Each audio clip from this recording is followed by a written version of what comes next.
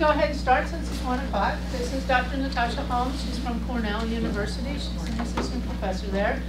From Canada, and I can't pronounce all these things right, but her undergrad was in Col, well, well, okay, and grad at UBC, which is the University of British Columbia. And then she came down to the States and was in Stanford as a postdoc uh, for a couple of years with Carl, working with Carl Wieman, who's a famous Nobel Prize winning physicist for you who are not physicists. And now she's an assistant professor at Cornell. And with that, I'm going to let her begin. Great.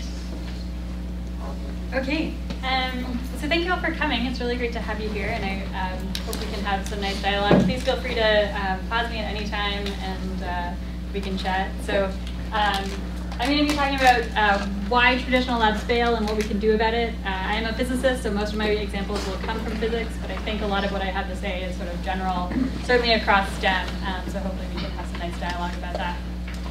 Um, so I've been at Cornell about two years now. We're starting up a interdisciplinary uh, education, science education research group um, spanning, expanding into biology, and then um, so a number of my grad students and postdocs and um, collaborators um, who have been contributing to this work in a variety of ways, and I'll sort of give them shout outs throughout the process, of course.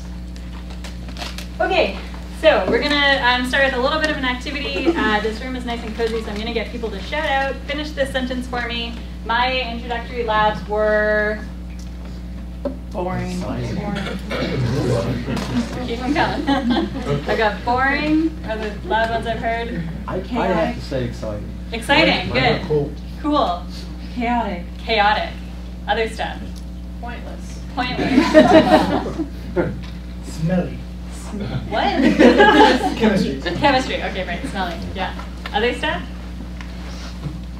Can. Canned. Cool. Cookbooks. Cookbooks. Yeah. Cool. Um, so it's great to hear the variety of things in here. As we know, there are, I think, some things that are, we've seen both ends of the spectrum, um, just from what people have shouted out. Labs are not inherently bad, but often the implementation is less than what we want.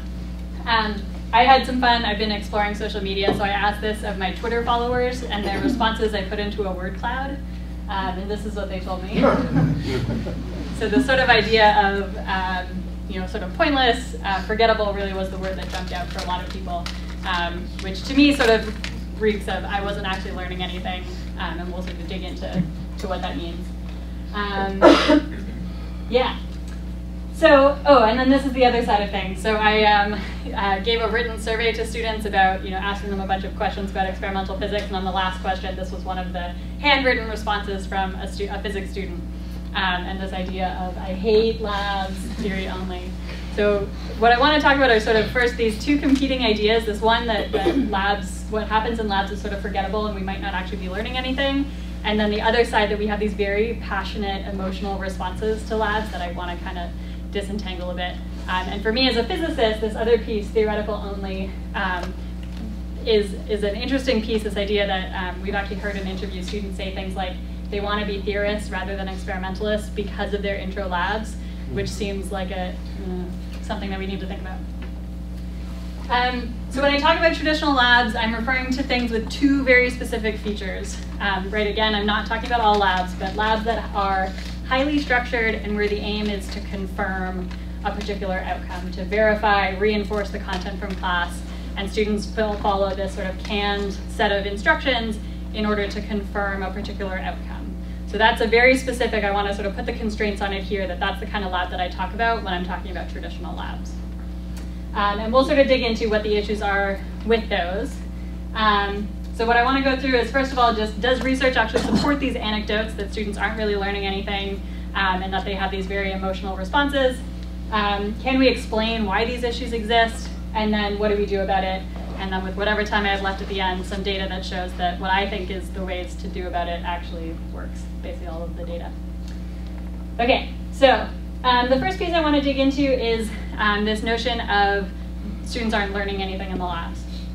So we asked the question, does taking a lab that's designed to reinforce course material actually improve student understanding of the course material? So in these traditional labs where the goal is to reinforce and confirm the, the content from lecture, does that actually help student learning? Um, and this can be hard to disentangle from other elements of the course, but we were fortunate to find a couple of institutions where the lab course was optional. And so we could directly compare students who were enrolled in the lab with students who were not in enrolled in the lab. And then we compared their learning on the final exam because the goal of the labs was to reinforce the course material. Okay, see a couple faces, some eyes are getting a little bit questionable. Hold on. if you've got an optional lab, you have direct um, selection effects we need to deal with because students who opt to take the lab are not going to be the same as the students who opt not to take the lab. This is literally a selection bias um, in our sample that we have to sort of deal with. So the way that we deal with this um, is identifying that on, in any, at least in our intro physics courses, there's a ton of content and maybe, you know, 10 to 15 lab activities related to that content. So not all material on the final exam has an associated lab. So what we can do then is take students' score on questions where there was a lab to reinforce it, divided by their score on questions where there wasn't an associated lab, um, and then make comparisons of that ratio. So because all content was covered somewhere, just some of it was further reinforced in the labs, the hypothesis that we're testing is that this ratio should be bigger for the students who take the lab than for the students who don't take the lab. And that sort of division um, is what we're doing to sort of normalize with some of these sorts of selection effects. See nods, people are with me? Okay. Um, so we've done this now at uh, three different institutions. Um, some key differences between these institutions. We had different populations of students, varied instructional approaches, a combination of mechanics and electricity and magnetism courses, different instructors, but they all shared the goal that the labs were designed to reinforce the content from lecture. Um, they were designed to achieve that aim, so students would be asked a lot of reflection questions, you know, make a prediction about what you expect to see, um, then do the experiment, compare your results to the predictions, explain what's going on, things like that. Um, but it was generally quite prescribed, so this can sort of set of procedures to follow in all three cases. Okay. Okay, so what I'm going to show you here is a graph with, um, on the y-axis there is going to be the ratio for, for the groups. We've got three different courses at three different institutions along the bottom, and then we'll have the students who took the lab will be in blue, the students who didn't take the lab will be in orange. Okay, so low-tech quicker clicker question. We're going to use our fingers, one, two, three, or four. Uh, so what is your prediction about what the data is going to show? One is that um, the students who take the lab will do better than the students who don't take the lab, so blue will sit above the orange dots. Two is that uh, maybe the lab will actually hurt students' understanding, so they'll do worse. Three is no difference, or four, there's going to be some pattern in the results between the different courses that we'll have to make sense of. So on, who take lab. Pardon? I'm thinking if there is any overlap between the lab and the practicals, the theory they are taking, then definitely the lab category will win. But if there is no overlap and it's just the lecture based, then obviously. All of the material is covered in the lecture. So all of the students have the lecture material, mm-hmm. but some students also have it in lab. So it's reinforced, the same content is reinforced in the lab. Oh, okay, the lab. Yeah. Okay, on three, one, two, three. Got a lot of threes, a bunch of ones, a bunch of fours, no twos. Interesting. Okay. Um, looks like a little bit of everything, so let's take a look and see what uh, happened. Ready?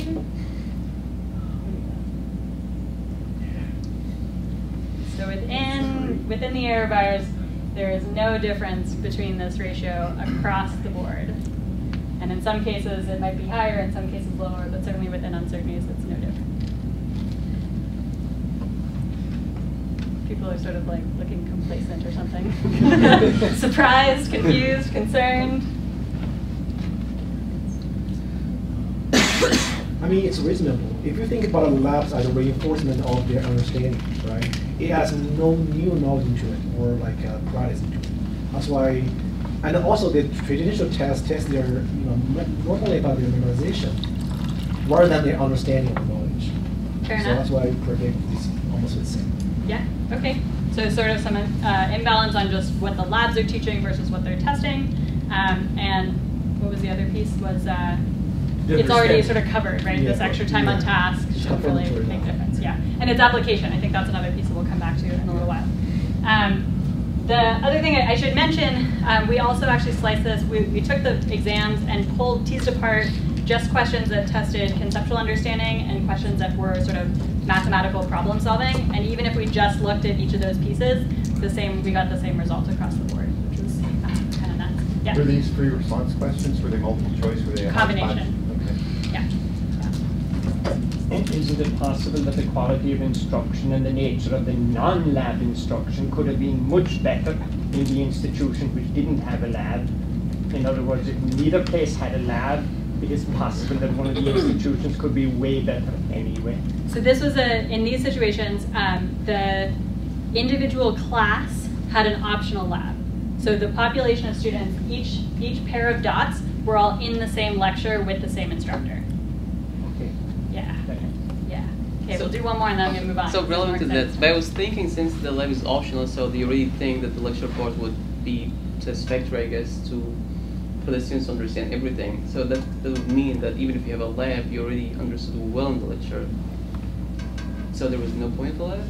Exactly. So, the Well, no, I don't think that's- But I don't think that's right. It just means it doesn't reinforce the lecture material. That doesn't mean there's no point to it. so. Oh, unless the- it covered the- other materials, yeah. Yeah. The conclusion that we're playing with um, to hedge appropriately is that the labs are not providing measurable added value to learning the course content beyond what's being done in the lectures and, and discussion So these were sections. not physics majors, right? Pardon? This were not physics majors. A combination. We had some physics majors, some algebra-based classes, a little bit of everything across the groups.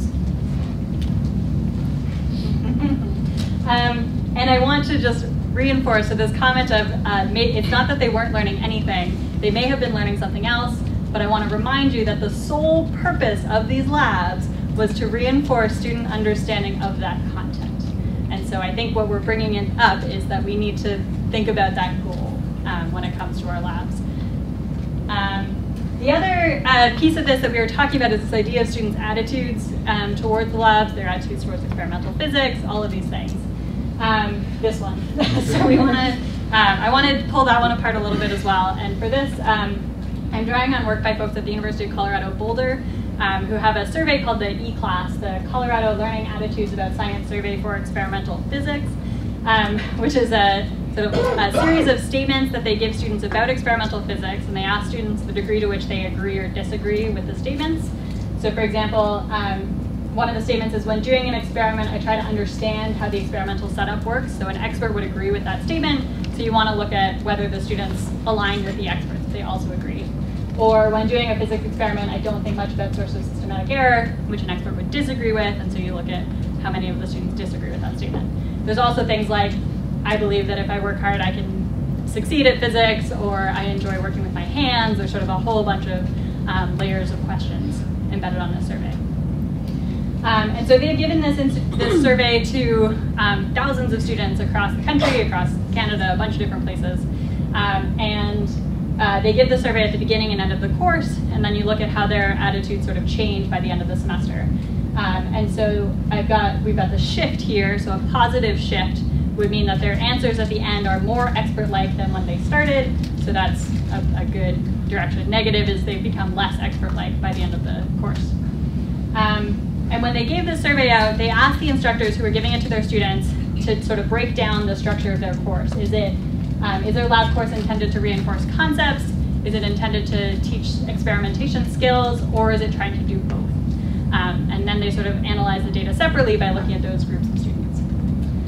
Um, so another set of quick predictions. So one is that by the end of the course, all students are more expert-like no matter what the structure of the course is. Two is all students are less expert-like no matter what the structure of the course is. Uh, three, as long as you're teaching concepts, students' attitudes are going to become more expert-like. Four is as long as you're teaching skills, um, their attitudes will become more expert-like. Or five, there will be no difference across the board. We can't do anything to change attitudes. Okay, on three, one, two, three. Okay, we've got threes, fours, five seems to be the most popular, but we've got kind of a little bit of everything. So let's take a look. Um, and they even split this one out, so FY is first year courses and BFY is beyond first year courses. So they tried to tease apart, maybe there was something with the physics majors in upper division. Um, and so it looks like across the board, sort of if you are trying to teach concepts, you either have no change or a huge decrease in student attitudes. Um, but trying to teach skills uh, has some benefits, which is obviously where we'll be going in the rest of my talk. Okay. Um, oh, and then I uh, want to also mention that they similarly asked the instructors if their class was uh, very structured and guided, or if there was any amount of open-endedness in the class. Um, and basically the same sort of thing showed up, that any amount of open-endedness looks like the skills um, creates these sort of positive shifts, but these very canned, overly structured things cause these um, declines. And I'm not sure, I think there's a big correlation between uh, concepts focused and guided, but that's another question for another day. Yeah? How much do you think students' attitudes uh, are engaged or involved in this? I mean, if they actually hate the labs, they're much less likely to you know, have a positive learning outcome. Um, yeah, it's it's hard to disentangle. I think that there's definitely a lot of overlap. Um, asking, I don't teach physics, I teach chemistry, but we're Mhm. seeing the same sorts of things, and when you talk to the students, their antipathy toward the courses really does influence what they remember when they learn. Yeah, and I, and, and I think, you know, I think their motivation, you know, research on student motivation and attitudes, you know, the, the effort that they put in is going to get entangled with that, the quality of the conversations that they have with other people, you know, whether they will ask for help, like there's a ton of stuff that gets sort of wrapped up in their, their attitudes and motivation, um, let alone just the actual cognitive things of if all they're thinking about is how much I hate this, there's not a lot of cognitive space for actual learning. So yeah, there's a lot, a lot of dis, or entangled.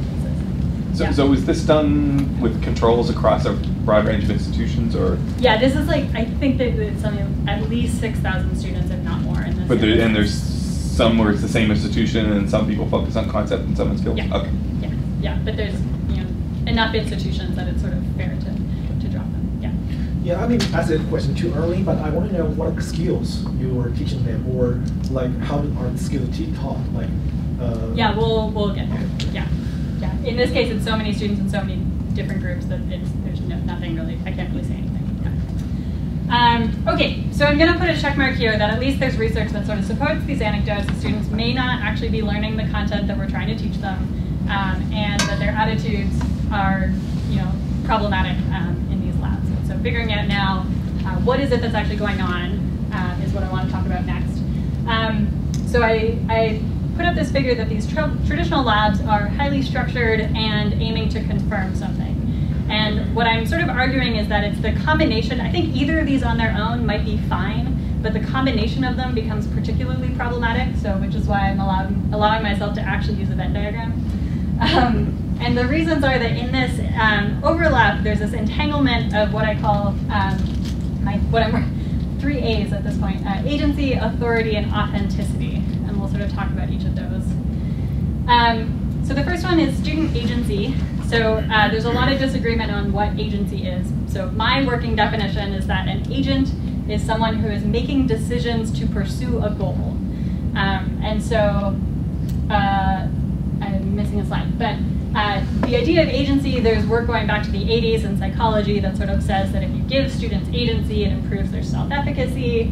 Um, in general, it improves learning, motivation, persistence in STEM, retention of underrepresented minority students, you know, all kinds of wonderful, wonderful benefits um, for giving students agency, some sort of control over the decision-making process um, for in their classes. Um, so this is a, so to, to, in a, in a lab, you can imagine that agency is giving students the sort of decision-making space to actually decide how to conduct the experiment. So on the next slide, I have a ton of words that I will sort of bold and talk about. You do not have to read it. Um, this was taken directly from one section of a capacitors lab at an institution. I don't even remember which institution it is anymore, but I promise it is real. Um, so these are the instructions. So, and when we think about agency, right, are students in control? Are they making the decisions to pursue their goal? So just to bold some of the words, they're given instructions like connect, use this, select the thing, this should be connected here, this other thing should be connected here, connect these things, uh, use the mouse to hit the collect button. Like, there is no available decision making. The instructor has basically made all of the decisions for the student in this lab. Um, in addition, uh, I want to talk about something called epistemic agency. Um, so epistemology, right, comes from philosophy. It's sort of the um, what does it mean to know things. Um, and so an epistemic agent you could think of as someone who is responsible for shaping knowledge. And so this goes back to I think it was Jay's comment that they're not actually using the labs to generate knowledge. They're using them to verify and confirm something that they sort of already know. Um, so in our capacitor lab, for example, it already gives information like the capacitor is polarized. The RC time constant should be this. Um, your window should be this, and you should get this outcome, right? So everything is given to the students. The actual result that they're supposed to be getting in the lab is already given to them. Um, they are not legitimately using the data to actually generate information. Um, so when I think about agency, there's sort of these two pieces. One, um, this decision, what I'll call decision-making agency. Are they actually making decisions about how to do the lab? But for the most part, decisions are kind of made for them. Um, and this epistemic agency, are they actually generating knowledge or is it just applied um, from somewhere else? Um, so those are my two things about agency. And we will, once I go through the three A's, then we will talk about what we actually do with this. Um, oh, and then I guess the other piece, just to sort of comment on um, why is there so much structure in these labs? Why is it so um, and, you know, um, and the, one of the things that I've been thinking about, in addition to just the notion that they want to apply, find some particular outcome, and so you want to make sure students get it, there's also sort of this issue of cognitive load that may come up in our conversation. So cognitive load is sort of the idea that you only have a fixed capacity in short-term memory, so you can only hold so much information in your brain at a time. Um, and in general, people sort of say high cognitive load is bad for learning, but that's really debated and has a lot of caveats and subtext and footnotes and all kinds of stuff. Um, but if we think about our capacitor lab again, right, we've got a circuit diagram that they have to translate, we've got computer software, we've got a bunch of cables and cords that they have to hook up to a bunch of things, we've got the idea of fitting, words like voltage and DMMs and, and all kinds of stuff. So you can certainly see that this reasonably could be a high cognitive load activity, not to mention that they're also working in groups and teams and trying to collaborate that whole, whole mess of things. Um, and sorry, I said that. Uh, okay, so let's let's move on to authority and authenticity, and then we can start talking about what we do with these. Yeah. So maybe you're going to get to this, but I, I think there's a, another issue, which is that uh, at institutions like this, where there's a limited amount of lab space and a limited amount of TA, time, mm. you're trying to cram the labs into shorter periods than you might like if you had more resources. We will talk about that. Okay. Cool. Excited to talk about that. Okay. Um, so the issue of authority, um, again, goes back to this is sort of tied in with this idea of epistemic agency, this notion that students are sort of applying ideas that are learned previously in the lab to make predictions, explain the outcome of an experiment or whatever, but rarely are the experiments themselves actually generating new information. Sort of nothing is surprising in the labs, and if it is a surprise, at least in physics, it's human error and all of those sorts of things, right? Um, and the issue with this is that there's research that says that um, when surveyed, the majority of students think, introductory students, believe that the purpose of experiment is to confirm previously known results, um, as opposed to discovery or whatever. Um, and furthermore, that experimental results should be evaluated on their agreement with your or previous results.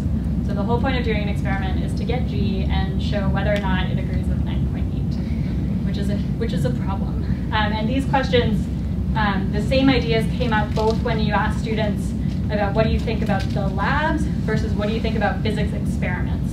And that's the piece where to get, get concerned. Yeah. I think students have a bad understanding of what the scientific method. Absolutely. We are not helping.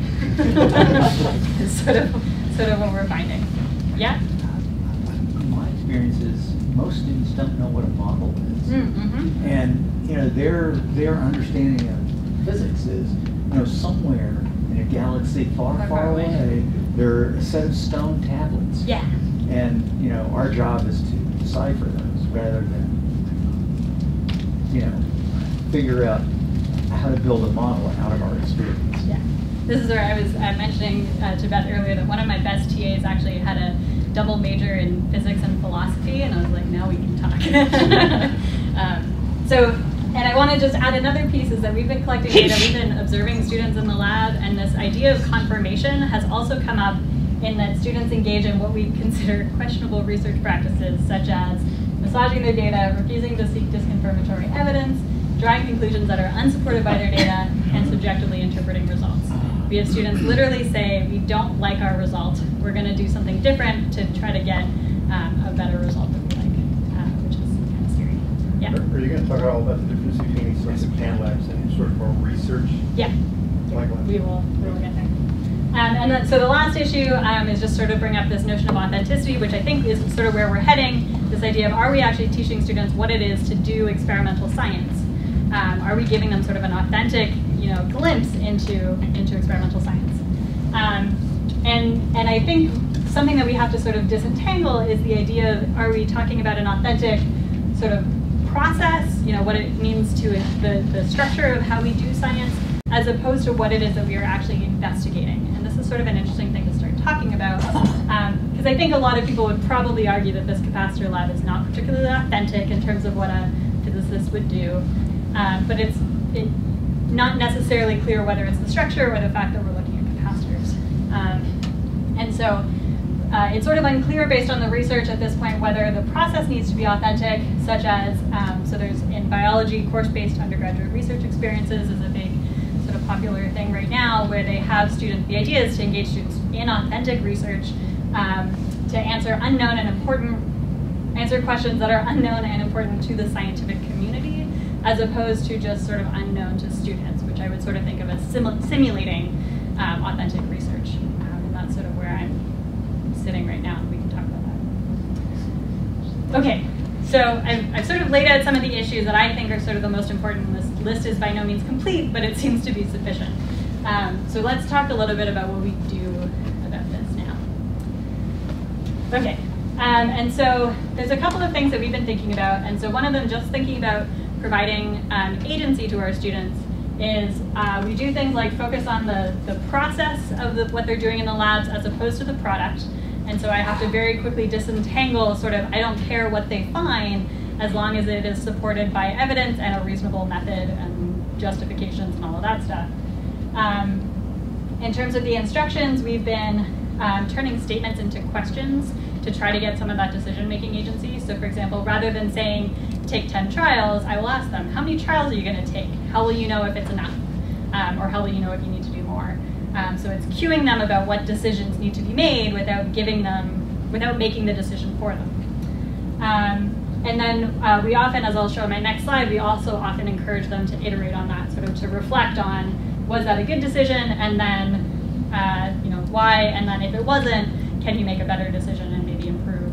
Um, if 10 trials wasn't enough, take the 15 or however many more you need. Um, and then we use labs where there is no right answer to try to get at that epistemic agency. Um, and so none of our labs verify gravity. That is um, was a big no-no immediately. Um, I'll give some examples of what we've been doing. Um, and then we fade some of it. So especially the statements into questions, we sort of fade that structure over time. So by the end of the couple labs, we'll sort of stop telling them, we'll stop cueing those decisions and sort of see if they're making them on their own. Um, and then to start to address the time thing, I'm going to throw this nugget in now, um, that we spread individual labs over multiple sections. So rather than a new topic every two weeks, we admit that science is slow and takes time, and if they mess up their decisions, we want them to be able to improve on them. Um, and so we'll spend four weeks um, on a single, or two weeks on a single activity, or whatever it might be, to sort of give them that time, which because I don't care about their product, um, sort of allows me to do that. I don't need to cover 10 different lab activities because they're not going to learn that content anyway, so we may as well go deep into a couple fun, fun experiments. Are these all introductory labs? At the moment, these are introductory, but we've applied this to upper division because courses we do this well. sort of thing very similarly to our upper division labs, but Great. not our introductory labs. Yeah, so we've, we've applied this sort of at both um, ends of the spectrum at this point, yeah. Mhm. Okay. Um, and so one of the big things that I claim that these labs are teaching is uh, critical thinking, which is a wonderful buzzword with no clear definition. So again, my working definition is um, critical thinking involves the evidence-based ways um, in which you decide what to trust and what to do. Um, so evidence-based, obviously being that I want them to collect data and be able to have evidence to support their decisions. Um, there's a lot of decision making, which brings up the agency piece again. Um, and then what to trust is sort of this idea of actually analyzing data and making sense of that evidence, um, as well as evaluating the methods. Um, and then what to do is actually being able to carry out the experiment and sort of move forward with that information. Um, and just to really flesh out my saleswoman pitch, uh, we have a three-step process to teaching critical thinking, uh, which involves these three pieces. We have students make comparisons, reflect on those comparisons, and then make decisions about uh, how to act on them, what to do with it. Um, and so I will give an example of what this looks like in our physics lab, and then hopefully we can think about some other contexts. Okay, so my favorite lab is our first lab of the semester, which is a period of a pendulum lab, where we ask students the question, does the period of a pendulum differ when released from different amplitudes? And we constrain them to test 10 and 20 degrees. Um, and so the equation that they've seen in class is this one. The period is 2 pi times the square root of the length of the period divided by gravitational acceleration, which suggests that there is no angle dependence. So the answer to this question could just be no. Look at the formula. um, but obviously we get them to actually collect data to test this. Um, and we're very careful with our language. We say the words test or evaluate um, as opposed to confirm or show. Um, so the first thing we do, right, we've already sort of set up this comparison for students that they're going to collect data for the period of pendulum at 10 degrees and then 20 degrees and then compare them. Um, we don't really tell them how to collect that data. They're given stopwatches and they have to set up the pendulums themselves. Um, and so they have to make all these decisions. And this is where our questions come in about how many trials are you going to do, how many swings are you going to do between them, how are you going to quantify uncertainty and variability, a bunch of stuff. Um, so we'll go through a quick case study of one of the groups of students. So they opted to just measure the time for single periods.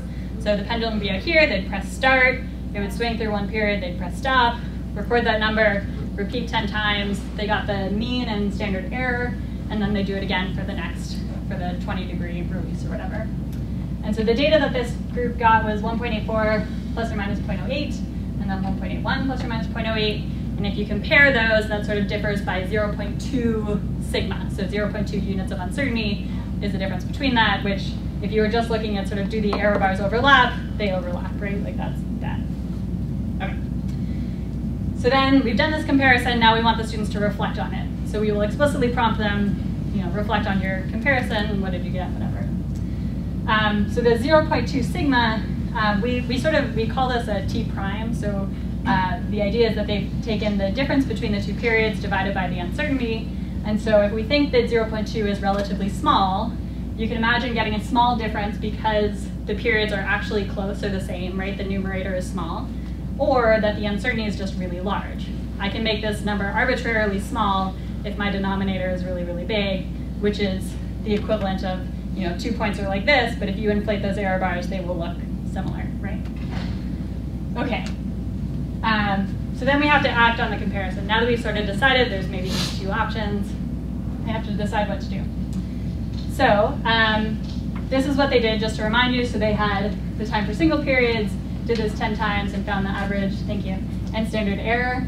Um, so first of all, thinking about your introductory physics students or introductory lab students, what do they want to do next? Option one is maybe take more trials. Two, measure more swings per trial. Three, use a photo gate instead of a stopwatch. Four, measure another angle. Or five, write it up, list their sources of error, and go home. On three, one, two, three. Yeah. okay, now we finally have consensus in the room. Students want to go home. why? What are some of the reasons why they want to go home? There are many. Yeah. Because it's closing enough. Because it's it's close enough. It's close enough. It's 1.81 and 1.84. Go to the second uh, decimal. It's 1.8. It's 1.8. And um, to probably introductory physics, physics class, they didn't uh, worry about the second decimal mm -hmm. they don't know actually what the importance of that. Mm -hmm. So. So they got answers that agree, and that's good. Yeah, I think that's good. Like first of the list their sources of error, like human error, stopwatch error, mm -hmm. like it was cold, it was windy. Drafts in the room, all that stuff. Yeah. Other stuff? Why? Yeah. My answer is easy because it's not required. They don't have the agency of continue to, you know. Yeah. yeah. Why should I do anything else? Yeah. what? Yeah. Other stuff? Did you have one time? Oh no, I was just gonna say because they have beer at home, but. Because they have beer at home, yeah, right? There's dinner and food and other things. I don't have to be here. Why wouldn't I be there? And why do I care about pendulums in the first place? Right. Talk about authenticity, right? Like nobody cares about pendulums. Yeah, and, and just sort of to add on to that one, um, they confirmed the equation, right? The textbook said it shouldn't matter. They got data that says it doesn't matter. The world works. Let's get out of here, right? Cool. Okay, what could they do next? So as inherently curious scientists, what would you do next? Same five options. Can I try On, on three, one, two, three. Okay, and this is where a bunch of people realize that they have two hands. Great, so any of these, again, we've lost consensus, but any of these are reasonable options. And even five is a reasonable option depending on your goal. Um, but, but what's really neat here, thinking about agency, right? This is a very constrained lab, right? I said measure the period of a pendulum and test it at 10 and 20 degrees. You can't get much more constrained than that. And yet there's a ton of decision-making space, right? In our groups, everyone can try something different. They can see what happens. There's a ton of things. Um, and so at this point, we really, we have to sort of um, go against this notion that students want to just go home. And so we require them to do sort of a second iteration um, based on their results.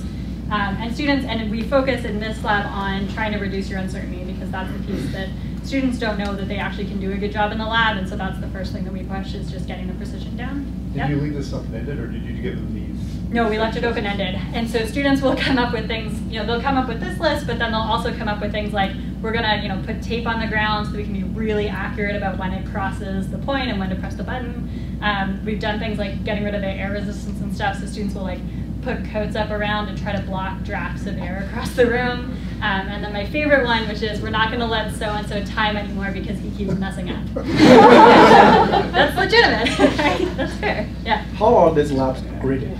Oh, yeah, we'll save that for the end. That's a whole other thing. Okay. So let me just show you the data that they got, just so that we can um, finish this through. So this group of students that we've been looking at decided to measure more swings per trial. And so by the end of it, they were measuring the time for 20 periods. So they'd let it go, press start, let it swing through 20 periods and press stop. So their uncertainty goes down by a factor of 20 on the measurement for a single period. Um, and now they've got this number way out at 3.7 sigma. So in particle physics, that's still kind of marginal, but for a behavioral scientist, that's like really significant, right? P way less than 0.01. Um, and so on the next slide, I'll show you the conclusions that one of these students wrote in their lab book after this experience. So he says, the opposite of the expected happened. T prime is greater than 3. The measured values are different. Conclusion. The period of a pendulum does depend on the angle with the vertical in the initial position. The algebraically derived formula for the period is approximately 2 pi over g of a pendulum is only valid for small angles. Considering the results of this experiment, 20 degrees is obviously not small enough since the angle has an effect on the period t and should be somehow represented in the formula. If you can make a precise enough measurement, you can show that the theoretical derivation of an equation of motion for a pendulum is just a good approximation. In reality, it's slightly more complicated. Not bad. Not This is week, yeah. week three, I think, of our course. Yeah. Um, and before anyone asks, this is a beautiful example. It is not a typical example. Full disclosure. Um, but it was wonderful. And for me, this piece, right, when we think about this, my definition of critical thinking, they made a series of decisions and thought about what to trust, right? They tie in this idea of, of precision is related to the sort of depth of physics that I'll be able to uncover. Um, this sort of combination of actually really what does it mean to trust data sort of starts to bubble up um, in this, which is really nice. Are you sure that the student didn't read the Wikipedia before answering this? I promise you they did not. We actually, at this point, we were, were um, asking students not to look up um, the answers. And in particular, right, the opposite of the expected happened, right? This student went in expecting them to be the same and then found that they were not. Um, this student at least was aware of the small angle approximation, so clearly had some content knowledge, but they still expected that it wouldn't matter, um, which is sort of a critical piece here. Um, why this is such a fun lab to do with them. So what, what, what percent of the population is representing? You mentioned it wasn't everybody, but. Yeah, it's uh, like ten percent, unfortunately. Yeah. Um, but we've been sort of looking at trying some other other pieces out, um, and I've got data that shows that it improves over time, though. Um, one of one of the reasons I think it is so rare is that, um, as I said, this this um, desire to confirm. Very few students actually push past um, the you know you, you need a level of precision to actually get this result. So very few students actually even get the result because of all of these these sort of confirmation issues. So Um, we've got we've been studying this pendulum lab because it's my absolute favorite, um, and watching students with that struggle, we push them to decrease their uncertainty, and we've got data where students, as their uncertainty gets lower and lower, um, this is where they start to say we don't like this result, this is disagreeing with the formula, and so we're just going to go back to the other thing, and so they'll actually this is where they've been fudging their data and all of this kind of stuff because they think the goal is to confirm the equation. And so we then follow this up with a debrief and a conversation about ethics and science and, all of that stuff. So it's, I, oh, yeah. I was going to ask you along those lines, do you find an increase in agency as they do more of these kinds of Yeah, that's the second part of the talk that I'm already running out of time to get to. So there's one more question in the back. So I, it's a two-part question. Do you do labs? Do I? Yeah. Um, I have, and I no longer do. Do you, do you, uh, We have studied them with and without Natasha. have, you thought about like demonstrating how someone who has, you know, who's a professional experimental scientist would do this lab and what kind of results they might get? So we've been toying with a ton of things with this pendulum lab about how to structure it. So one of my games right now is what happens if I just tell them what the assumptions of this model are? Will that change their behavior to recognize that models are limited? Um, I also, a part of me thinks that this is a really big teachable moment and that to just let this happen and then talk about it afterwards is going to be better I mean for their learning. Let them do it, but then. But then talk about, yeah, with- which is why we now have this explicit de- debrief the following week and we get them to reflect on, we basically tell them the answer in this case and then, and then we talk about what just happened. So, yeah. I'm gonna move on because there's a lot of other stuff, I wanna actually show data, but, um, oh, I forgot to mention, uh, no one picked up on the fact that you can't actually say that it's a small angle approximation by measuring two angles. Um, but if you actually plot the, we get them to plot sort of um, angle, period as a function of angle, and they pick out that, that second order of behavior, which is good. Um, and I'm going to skip this. Um, just to me- mention a couple of the other stuff that we've been doing. So as the, this one is still pretty um, contained in terms of epistemic agency because I, I want them to have this sort of conflicting experience. So I, there really is an outcome that I want them to get at the end. Um, and so we've been sort of playing with other things, um, a lot inspired by uh, Eugenia Etkina, um, what's his name, Alan Van Heuvelen's work at Rutgers. Um, so one of our things is falling objects. We have students test a model that um, the gravitational force is the only thing acting on falling objects, and they test it with different things where that may or may not be true, but everyone does something different, and we've got these big sort of mini conferences, and then they try to improve the model for various objects. Um, our favorite one is a Hooke's Law experiment where we first just sort of do an exercise in fitting and residuals, give them springs and test Hooke's Law, F equals kx, show that it's linear, all good. Now bring me things from home and everyone gets to test some stuff to see if how well it behaves um, or where it breaks down with Hooke's Law. So really bringing in those things because I don't know when a student brings in their swimming goggles with an elastic rubbery band. I have no idea if that obeys Hooke's Law or not. Let's find out. Um, so they do lots of cool stuff. Um, in E&M, we've been doing uh, Ohm's laws where they test the degree to which resistors, light bulbs, or LEDs obey Ohm's law and then try to understand when they break down. Um, and then our other one, again, drawing on Eugenia Etkina's stuff, she's got a series of things on LEDs because they're crazy. Um, and so we show basically show them some weird stuff that LEDs do and ask them, what does this thing do? Um, they've got to develop a bunch of experiments to figure it out. Okay, um, how quickly can I go through data? So I think I can get through it in about five minutes if I go really fast. Um, just to show. go, look, you can go like ten minutes. Okay. Okay. Um, just to show you some of the evidence, some of the stuff that we've been looking at. Um, so the data that I'm going to pull on now comes from actually three different institutions and a bunch of different studies. So I thought I'd put it all together at first. Um, so we've been testing things at Cornell. We've been changing these labs and doing some pretty tightly controlled um, studies. So uh, my students Martin and my postdoc Emily um, working on this a bunch where we had students in the first semester, actually we, we had five sections of the course, this was physics majors, five sections of the course where three of them were sort of the business as usual traditional labs and two of them were our change labs. So we've got some nice direct comparisons of content knowledge and stuff like that. Um, University of British Columbia, when I was a PhD student, the data where we did sort of two cohorts. So the first year was business as usual, and then we revamped up the second year. Um, that was a combination of calculus-based courses, but um, combination of life science students and physics majors. Um, and then a, a, community college in California um, where we did, we had two cohorts and then I think a traditional cohort from the year before. Um, and a bunch of stuff. Okay. Okay, so the first question was just to go back to this idea of does this change in instructional methods impact content knowledge? Um, and our prediction from the previous study was that it wouldn't, but of course in this case we had the selection effect which we accounted for, but now at Cornell we were able to just directly compare students in the same cohort um, who had been random, essentially randomly assigned to the two different types of labs. Um, so we can actually do a direct comparison, in this case on their final exam scores, and sure enough, their exam scores are pretty much identical, the two distributions of students. I don't even have a legend to say which one is which, but they're the same, so it doesn't matter. Um, which is as expected, so that's good. Uh, the other piece is going to the attitude, so we gave our students at Cornell the um, E-class survey, um, so that was the graph that I showed you before. Um, I replotted it with error bars, and you'll see why in a moment. So this is, um, they had their standard errors in the plot. I took out the both, I just wanted to compare the concept and skills groups. Um, so that's their data, and they had in this population, it's um, about 1,500 students. Uh, and so when we did this, our control group will be the first one, and then we've got two iterations of our new labs um, following. So our, with only uh, 40 students per group, our error bars are way bigger, um, but you can actually see that the size of the effect is pretty similar between the two institutions, which is good. So we'll be collecting more data um, to sort of keep tracking this. And then the last one is, um, if we've been teaching this sort of critical thinking and other experimentation behaviors, does it actually improve their behaviors? So a couple of the ways that we've done this, the first um, is one of the pieces is just this idea of getting students to actually iterate on what they're doing. Um, so from the pendulum lab, for example, they went from single swing to 20 period, 20 swing measurements. Um, we've also seen, you know, just sort of on the fly decisions, you know, this data point looks weird, we're gonna check it again, um, or whatever it might be. And these students were all writing um, lab notebooks, and so documenting their whole process, sort of like a journal, what they were doing and why they're doing it throughout.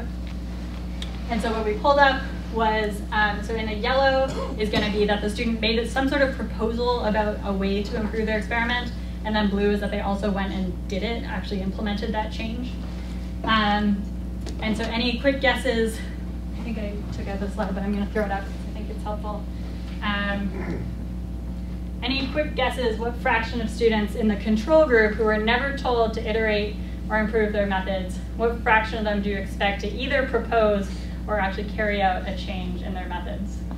Less than 25%, between 25 and 50, between 50 and 75, or more than 75%. On three, one, two, three. Whoa, we are at pretty much unanimous again, with ones with a couple people being really optimistic. this is where we have. Um, and so this is the, what we you know talked about before, that the students just want to get out of there and go home. They don't have any reason to think to do this. Um, in the pendulum lab, when we tell them to do it, they do, and then that sort of carries as the instruction gets faded um, over time. So we sort of by um, week 17, we had really stopped telling them to engage in this. So the numbers drop, but it's pretty sustained. And then we followed our physics majors into the um, second year course, um, and these behaviors sort of kept up when we weren't involved in the design or anything. The, um, oh, and then we've done a similar thing at um, Cornell, and between the couple different iterations that we've coded, there seems to be a ton of variability over the labs, which we're going to sort of start to try to understand when do they and when don't they. Um, but clearly, again, the numbers are still way above what it was for the control group. So good things are happening. The other thing we've been looking at is um, these, these situations where the data sort of disagrees with the, what they expect. So do they, when these sort of models disagree with their data, um, how do they sort of disentangle that? Um, so yellow is that they actually just identify and recognize that there is an issue, um, as opposed to just trying to sweep it under the rug. Um, and then blue is that they also go ahead and sort of try to interpret that and make, make sense of it. Um, and so this is the what happens at the beginning of the semester. So that um, this is the pendulum lab. So that beautiful description that we saw when I said that it was rare, right? Like that's that guy in there, right? It's really not happening. Um, but by the end of the semester, we sort of get them used to it and engaging in this process. One of the things that I think is this authority piece that at the beginning, they are really holding on to these ideas that the equation and the, the laws laid out for them in the textbook are truth, but over time we're sort of teaching them that they are the authority, the data is the authority, um, whatever that may be. So that's one of the pieces that we're going to be sort of trying to disentangle a little bit more. So, sorry, what is this? This is time? Yeah, so we've got week two, and then we jump to week 17, um, and then the sophomore lab at the end there. like there's a peak in there. Pardon? Looks like there's a, there's an increase and then decrease. That- Um, yeah, so the sophomore lab is the students the following semester in a totally different course. Um, so it's sort of a, yeah, understandable. Yeah. Why the control lab, uh, for week seventeen, it's an all identified perturbate. Uh, right. So what we think is that for the students who actually recognized that there was something wrong, they would they were able to figure it out. Okay, sort of 'cause thing. yeah, it was higher in week two anyway, so. But these Yeah, kids are living in the dorms with each other too, right? Yeah. They're probably talking to each other too. In this case, the control and the experiment were um, Oh, one cohort years? after the other. Okay. Yeah, Okay. so there shouldn't be that talking. Okay. Um, and then we, yeah, we've done this at uh, Cornell as well. Whoops, and it's uh, sort of the same thing. So um, the other piece is we've been so coding through all these lab books is super tedious. Um, great project for a PhD student, not great for anybody else. Um, and so we've been designing what we think uh, is an assessment of critical thinking. We claim the idea is that it's usable by instructors in different courses at different institutions um, to assess critical thinking in an efficient and sort of standardized way. Um, so the assessment gives students two um, sort of case studies of groups conducting an experiment of a mass on a spring, and then ask them, you know, going back to my definition of critical thinking, the sort of how do you trust things, and then what do you do about it. So they evaluate the data and sort of the quality of the fits that students create. They evaluate their methods, and then make suggestions about what the groups should do next. Um, and so overall, uh, what we find looking at these so far with the data that we've collected, um, our labs and the ones that sort of aim to teach critical thinking have these sort of small positive shifts in student score from the beginning to end of the semester, whereas other courses um, sort of don't have any anything and will again be sort of disentangling this over time. But this is a survey if you're interested in using this with your survey students, you're welcome to. Uh, we're also currently creating one um, in ecology. It will be called the Eco-BLIC, the ecology, or the biology lab inventory of critical thinking for ecology, um, and maybe some other ones. Um, and I am going to skip over this stuff because we are running out of time. Uh, it's just a bunch more data that shows that we've figured stuff out. Um, so just to sort of wrap up, and then we can take more questions and conversations. Um, going back to the sort of our definitions of these traditional labs, right? It starts to sort of become clear some of the options forward about what to do, um, thinking about agency, authority, and authenticity. Um, so obviously, whoops, ignore that thing on the side. Forgot to fix that. Um, uh, obviously, giving students agency is going to be a good thing. Um, placing the sort of knowledge authority on the student's process and their data rather than the sort of right answer in the textbook. Um, and then simulating authentic experimentation. All well and good. How do we actually do that? So a couple of the strategies for removing, for giving agency is to remove some of the structure, let students make decisions in a constrained space, the sort of turning statements into questions, um, and then spreading labs over multiple sessions is very important to actually give them the time to engage in that process. Um, to place the authority on students' process and data, use experiments where students don't necessarily know the answer, um, and especially I think some labs where the experimental result might be surprising to them to kind of keep them on their feet. Um, and then reflecting authentic experimentation, focus on the process rather than the product, um, and then use experiments for discovery rather than confirmation. Easy, right? Uh, and then again, just to sort of acknowledge all the people. Uh, thank you very much. And I'm happy to continue the discussion and take questions.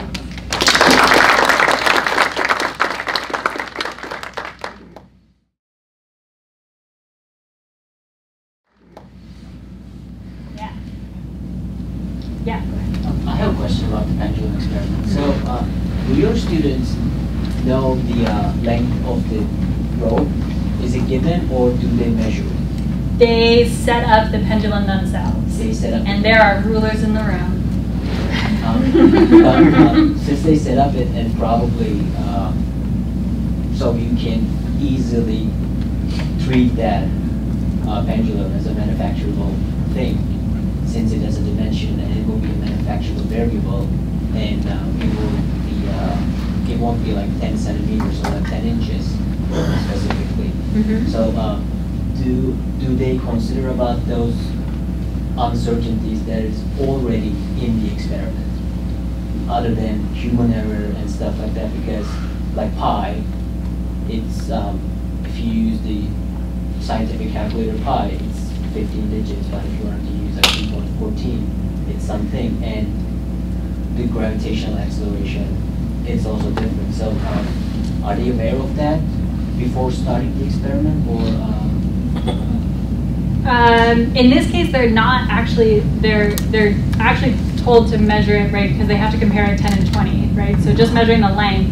and calculating the period doesn't allow you to do a comparison of 10 and 20. Um, so they have to just use the stopwatch to measure it implicitly. So in this case, we sort of avoid that piece because they're supposed to measure it directly using the stopwatches. Okay. Yeah. Okay, let's do some people we haven't heard from yet. Yeah. So what other environmental factors are in this setting? For instance, this is looking at um, the constraints or lack of constraints or uh, across that spectrum for the written materials. You have the students in various kinds of classes. Um, wh who else is circulating in these classes? Is an instructor circulating? Are there multiple instructors in, circ cir in circulation? Because one of the things we've been looking at is the role of those instructors circulating and how is what those instructors say, how does that influence the experimentation? Yeah, so um, in the different institutions where we've tried this, we've had a variety of instructor to student ratios. So um, we've had everything from 50 student rooms with two graduate TAs to at Cornell. Uh, Foothill, I think, was 30 students and one faculty instructor. And then Cornell, we've got 20 to 25 students. Um, and we've tried both with one graduate student and with one graduate student and an undergraduate TA. And I think that the undergraduate TAs are great, so I will keep them around as long as I can. Um, partly because they, we take them as students who have taken the labs before, and so they're sort of bought in and know what's happening and have sort of some enthusiasm. In terms of what they actually do, that is a whole, probably a whole other research talk. um, and it's, it's complicated, and the idea right, of giving, giving students agency, I think, can be, um, many of our instructors and TAs have never experienced a learning environment like this. Um, and so getting them sort of on board and comfortable in this environment, let alone knowing how to actually support students through that process is a, is a whole is a whole thing. Um, one of the big pieces, and this sort of ties into someone asked about grading, and I tried to avoid that. Um, one of the um, big things that we draw on is actually from uh, the Alan Schoenfeld metacognition stuff. The three questions: What are you doing? Why are you doing it? And what are you going to do next? Um, so we sort of follow from him and we tell the TAs to, and the students that the TAs should be walking around and asking those three questions and so the students should know answer to those um, at any time. And we actually use that also in our grading. So what are you doing, right, is a clear description of their experimental process and throughout the whole time. Why are you doing it is justification. I want to make sure that you're actually thinking about why you're doing what you're doing. Um, and then what are you doing next is trying to get into that idea of iteration. How will this feed into the next step um, and keep them going? So that's been that's we could keep talking forever about that probably. yeah. Yeah. Someone cut me off. Tell me when I need to stop. The, the example you illustrated here is good. Like you can give the students to explore in that way. Mm -hmm. But in my lab, which I'm going to introduce, I'm, I'm starting with some different lines, so it will help me to structure. So there are certain living organisms or certain instructions that they haven't done lab with them. We want to teach them then is it okay for you to take and line up those instructions and then later ask them to uh, do if you can do some fun experiments using non-toxic materials? Yeah, so um, it, as I understand it, the question sort of relates to, you know, there are procedures that we want students to be able to learn actual technical procedures, which does not really lend itself to agency that well. Um, so that certainly is a, is a third sort of set of goals that I haven't really talked about. Um, but I think there are, depending on and I think one of the things that physics doesn't always have to real worry about is safety. Um, right, like we're not dealing with chemicals and radioactives. I mean, sometimes we're dealing with radioactive, but for the most part, things are relatively safe, and students can try out some weird stuff, and it'll be a waste of time, but it'll be fine. No one's going to get hurt, um, uh, which is not the case in every every discipline. So um, I think with that, you know, that's a you know, teaching procedures, technical procedures is sort of another whole piece of the puzzle. Um, one of the arguments when I was working with folks during my postdoc in a, a upper division, I think it was a sort of biological and chemical engineering course that used to be very focused on procedures, the instructors I was working with had a really nice perspective of, you know, we don't know what procedures are going to be useful to these students 10, 15, 20 years down the line. And so the thing that we wanted, they wanted to teach was critical thinking, the idea of we want them to know how to approach a new piece of equipment and think about it. And these things do still apply in that, in that case. Um, so it's sort of a question of just what your goals are, I think. Hold on one minute. Yeah. We actually, it's, it's past one. We intended the talk to go for an hour, but we have actually booked the room for another hour because we thought people might wanted to hang out. So feel free to leave if you have to leave. I know it's the end of the semester and there's a lot to do.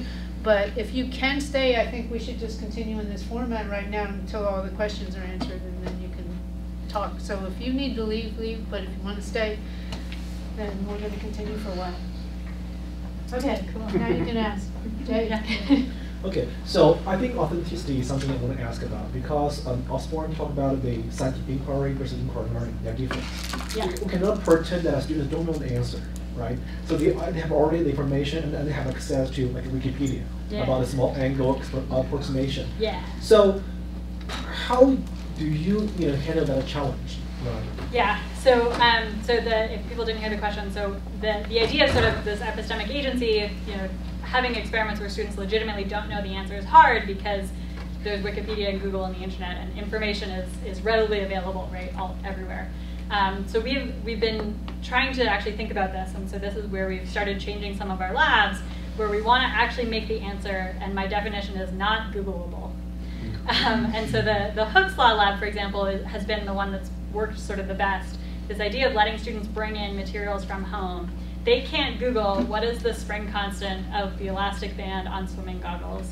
It's just, I mean, I'm sure someone somewhere has done this and it exists somewhere on the internet, but it's not a thing that's going to give them the answer for their set of swimming goggles right now. Um, and even the period of a pendulum, yeah, they can pull up the small angle approximation, but even though students know the small angle approximation, they still don't expect that result. Um, so there are some pieces that I think it's still possible to sort of do it, but certainly the bringing stuff in from home has been really good. Um, the falling objects one, um, uh, so we have the students testing um, the uh, whether gravity is the only force acting on things falling, but there's also drag and buoyancy and a bunch of other things. Um, but one of the pieces that we get is not only what is the force, but we want you to actually create a model. What is the size of the effect, right? Is it what does it depend on and all of these other things? And so we give them, you know, a beach ball and then a basketball and I don't remember what the other thing is, something else, tennis ball or something.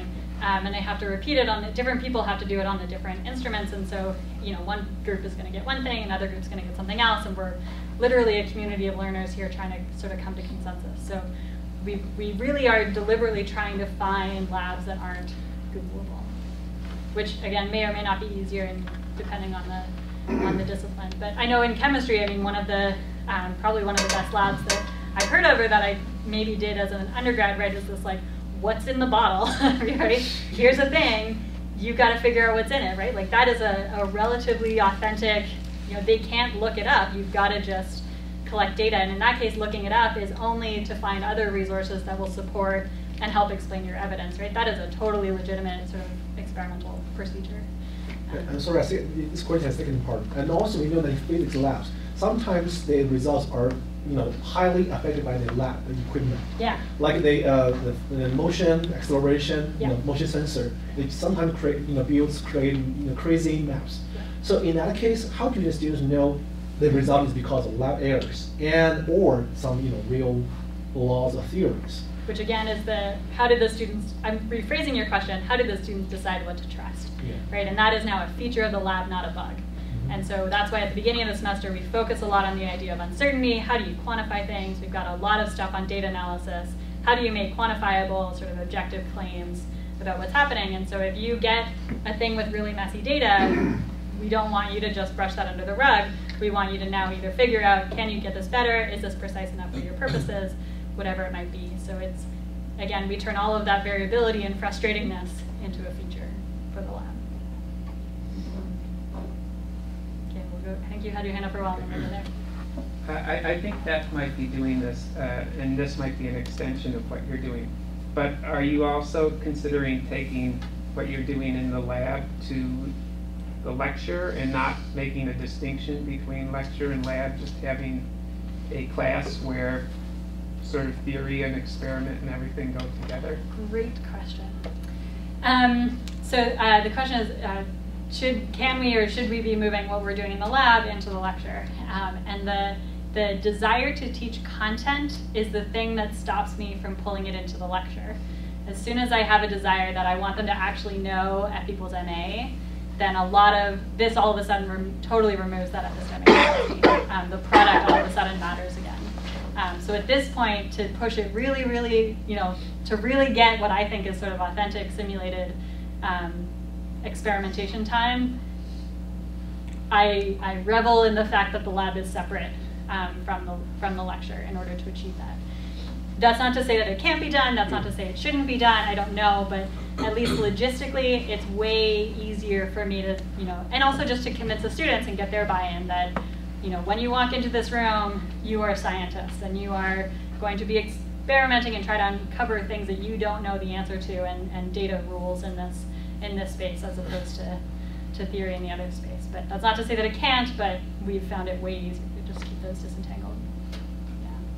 Yeah. First is a comment about this discussion, yeah. and I think one way to approach that, bringing into lectures to have a flipped model or a blended model where you deliver the content online and have them come prepared. And then you can do, you'd have more time. Mm -hmm. So that's one way to approach mm -hmm. that. Mm-hmm. Uh, the second thing is, uh, I really like the debriefing, you know, with the experiments. And I, but I think you could also, without giving them answers, front load it a little bit by talking about nature science issues. I mean, our scientists, our science students don't know that. Yeah. They don't know what it, the nature of science is. You know, it's empirical, based on laws and theories, and subject to change, and it's creative. And you're going to have to do all this stuff. You have to know a difference between observation and inference. But if you pick a couple of those ideas, just reminded them before they started maybe they would, yeah. Yeah, um, so it's, it's interesting. So, I mean, full disclosure, one of the first activities we do as sort of an icebreaker and get to know you with the TA is we give them big whiteboards and say, what is, uh, what is our question? What, how do we do experiments in physics? I think that's the question that we asked. And we have them sort of create, you know, flowcharts or representations or whatever it might be to sort of go through that. And we've also toyed with other questions like how do we know things? And you know, again, my philosophy is starting to, to creep into my class.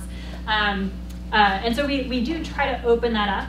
Um, but I guess I, I come from, um, uh, we really enjoy the work of, I've, I've been following a lot the work of um, Dan Schwartz at Stanford um, in the Graduate School of Education, who does this sort of, uh, his type of instruction is invention as preparation for future learning. And so the framework, thinking about flipped, but it's uh, even more flipped again, that uh, having students just sort of do an open-ended um, task that where there really isn't sort of it's ill structured and there isn't this right answer, and then follow it up with the reflection rather than one before the other. Mm-hmm. Um, in a lot of different ways, sort of is, is better for students learning down the line. So for me, it's sort of I'd rather them just discover and fail and flounder, and then we'll we'll tie the pieces up afterwards, um, rather than sort of leading them down a path. But but I mean that to be said, we could do the experiment certainly and see what happens. So. Okay, let's go to Manuel. How do you train your TAs? Like, we've all been taught traditional labs, and yeah. like, what is the training to get them to be useful in this uh, setting? Yeah, good question. Um, so that's uh, that's an ongoing uh, pursuit. Certainly, as I said, it's it's. Uh, I think we'll spend years trying to sort of iron that out. Um, because in this context, right, we're not only trying to teach the pedagogy and how do you actually facilitate and help students. Um, but also for a lot of the case, these students, our TAs haven't had this kind of instruction. They don't know the content. They don't know a lot of the things um, that we're trying to talk about. So um, at the moment, the way that we're playing is just that we have weekly meetings where uh, the instructor will sort of play TA and the TAs play students and we just go through the activity. Um, but we also have them, uh, we give them a, a sheet of paper that has a table where the left-hand column is the instructions that the students will see. So they're going to just sort of go through the lab with those instructions. But the next two columns are blank. The middle one is um, what issues are you having? What questions do you have? What do you think your students are going to stumble on? You know, what problems are they going to run into? And then the third column is what will you as an instructor sort of do to support your students in that? So the idea is that we want them to go through the lab so that we make sure that they sort of have that content knowledge, but we also want them sort of meta and reflecting on what will my role in the room be during this time, and then we sort of debrief it afterwards. Um, but yeah. Shameless plug, if you're interested specifically, you can come to the TLPDC or uh, send me an email, and we can talk specifically about how we would train your graduate students. Nice. I think you had a question. Yeah. So you mentioned giving your, you didn't use the phrase giving your students a safe space to fail, but you kind of mentioned that. How do you encourage your students to fail? I'm coming from an advanced chemistry lab. Yeah. So I know it's going to be different because some failures can be a safety issue. Yeah. But the ones that aren't. The one it's okay. Right. The ones that are not. Yeah. How do you how do you encourage your oh, students yeah. to fail without kind of internalizing that as them being the failure? It's just maybe they made some poor decisions or they didn't do enough trials or whatever. How do you how do you Yeah. foster that kind of curious, it's okay to fail environment? I think the short answer is I have no idea. um, because it's, it's really hard for students, I think, to get used to that, right? This whole idea of they expect, I mean, I went into science because it was objective, right? There's a right answer. Turns out that is not what science is about at all, right? And so it's a huge shift for students to get into this mode of, I don't possibly know what the answer is here. And, and full disclosure, I have made students cry in my lab because they get so unsettled and so uncomfortable with the idea that they don't know the answer um, to what might be happening. So um, I, I don't know. I think it's a balance of friendly faces and making sure there's a lot of teamwork and no sort of onus on individuals, I think becomes really important. Um, and constant like proclaiming of there is no right answer here. We want you to be creative. You will get graded for your process, not your product. You know, just constantly spouting all of the stuff that I've already said, just over and over and over again, um, and and appropriate grading and balanced incentives and all of that stuff. But um, it's it's hard, um, but something that we'll be sort of studying a little bit more about how to really, you know, those first couple days I think are really crucial to to get people comfortable. And, and especially I'm a little bit cautious the debrief that we do with the pendulum, right? A lot of the students actually finish the pendulum lab having confirmed the equation in the book, and so then sort of revealing like, surprise, haha, not actually, um, can can sort of be jarring, and we haven't quite monitored that moment yet, and so we need to. I actually have video of a student. I don't think I have it handy.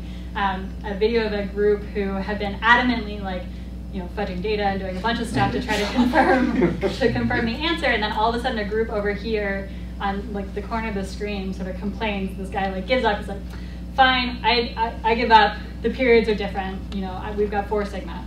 And this group, like, who had been fudging the data and doing all this stuff, like, give themselves this look, like the world has just like shattered around them.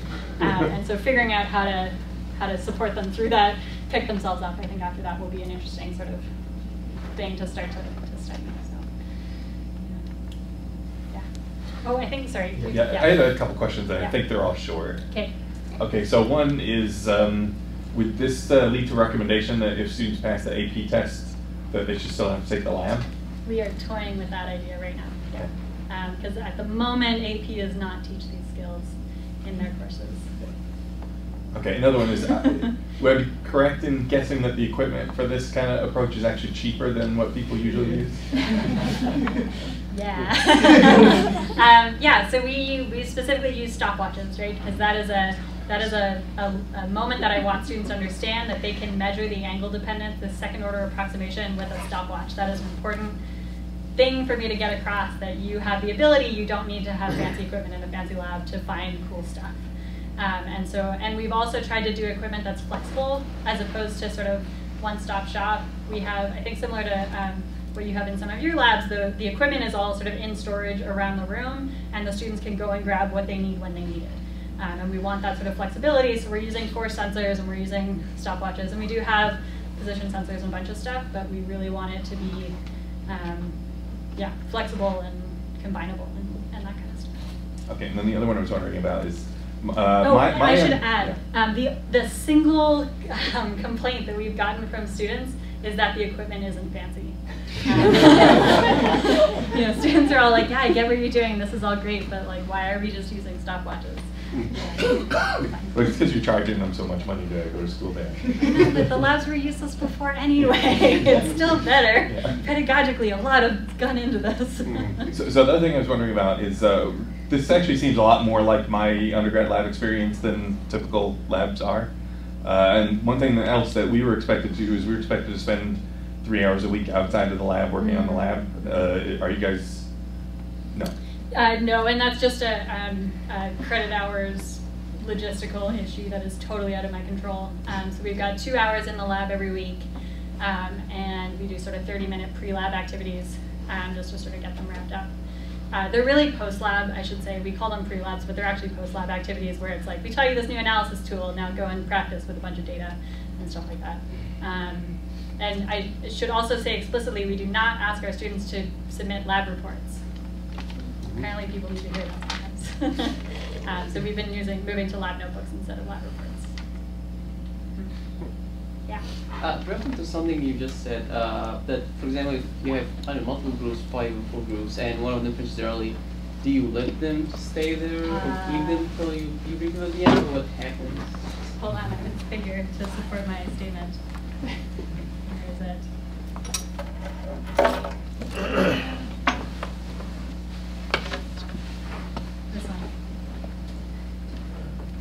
There's no end to our loop.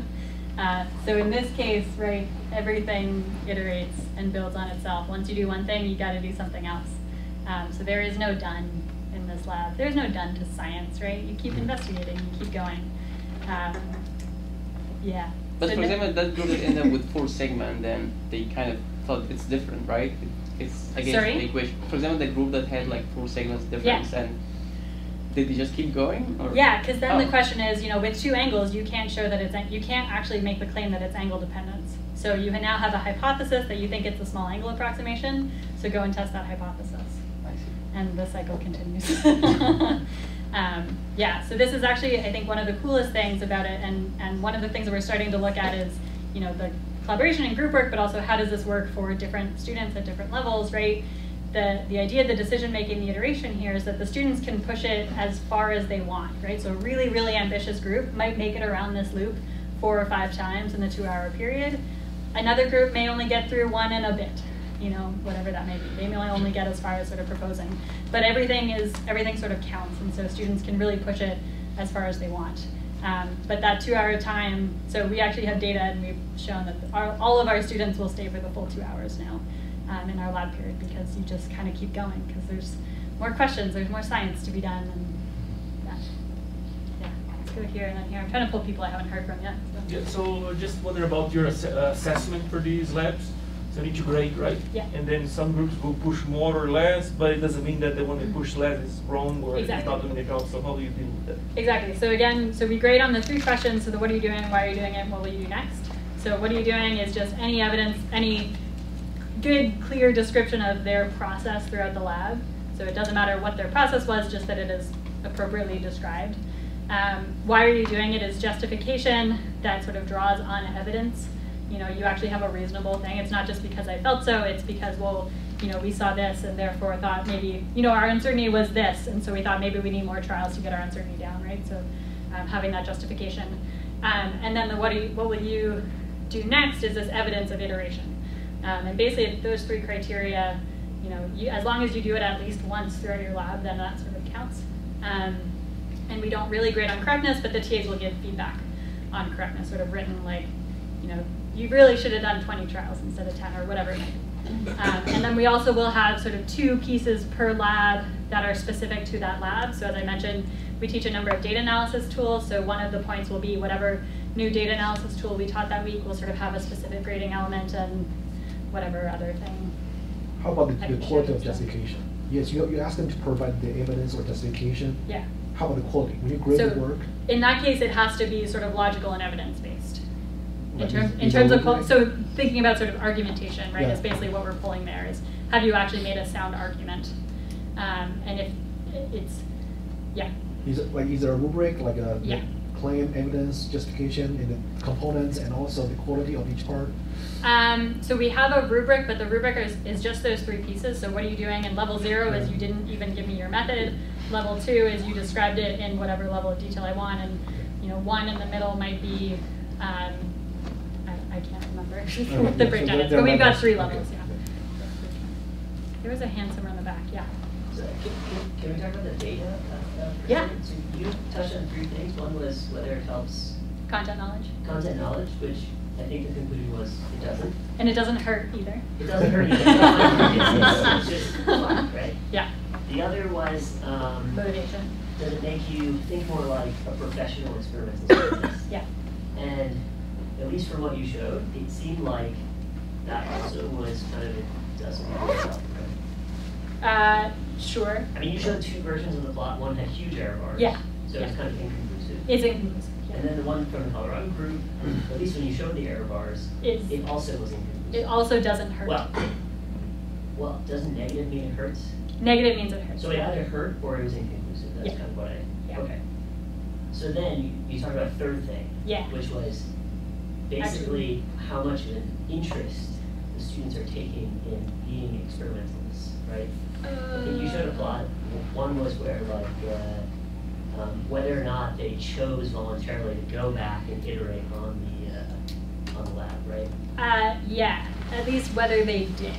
Whether they did, okay, yeah, Yeah. maybe they don't actually have an interest in Yeah. it, but, um, so I'm just trying to gauge, uh, if, if we're learning something. And actually, I could just turn this back to you and say, what are you gonna do next? Uh, I mean, can you, can we make these more conclusive, right? Can you, can you reduce the error bars? Do you think you can reduce the error bars enough to make it conclusive? Yeah, so I mean, so the um, the content knowledge, I feel like I'm kind of done. Like I don't, I don't Yeah. really care if they learn content knowledge anymore. I show that they're not being heard, and so we'll move on. Um, attitudes is something we'll just keep collecting data to see um, if we can get those error bars down. Um, so next semester we'll be moving at Cornell. At least we'll be moving into our engineering sequence where we've got 500 students a semester. So data is forthcoming. Um, er- small error bars are forthcoming.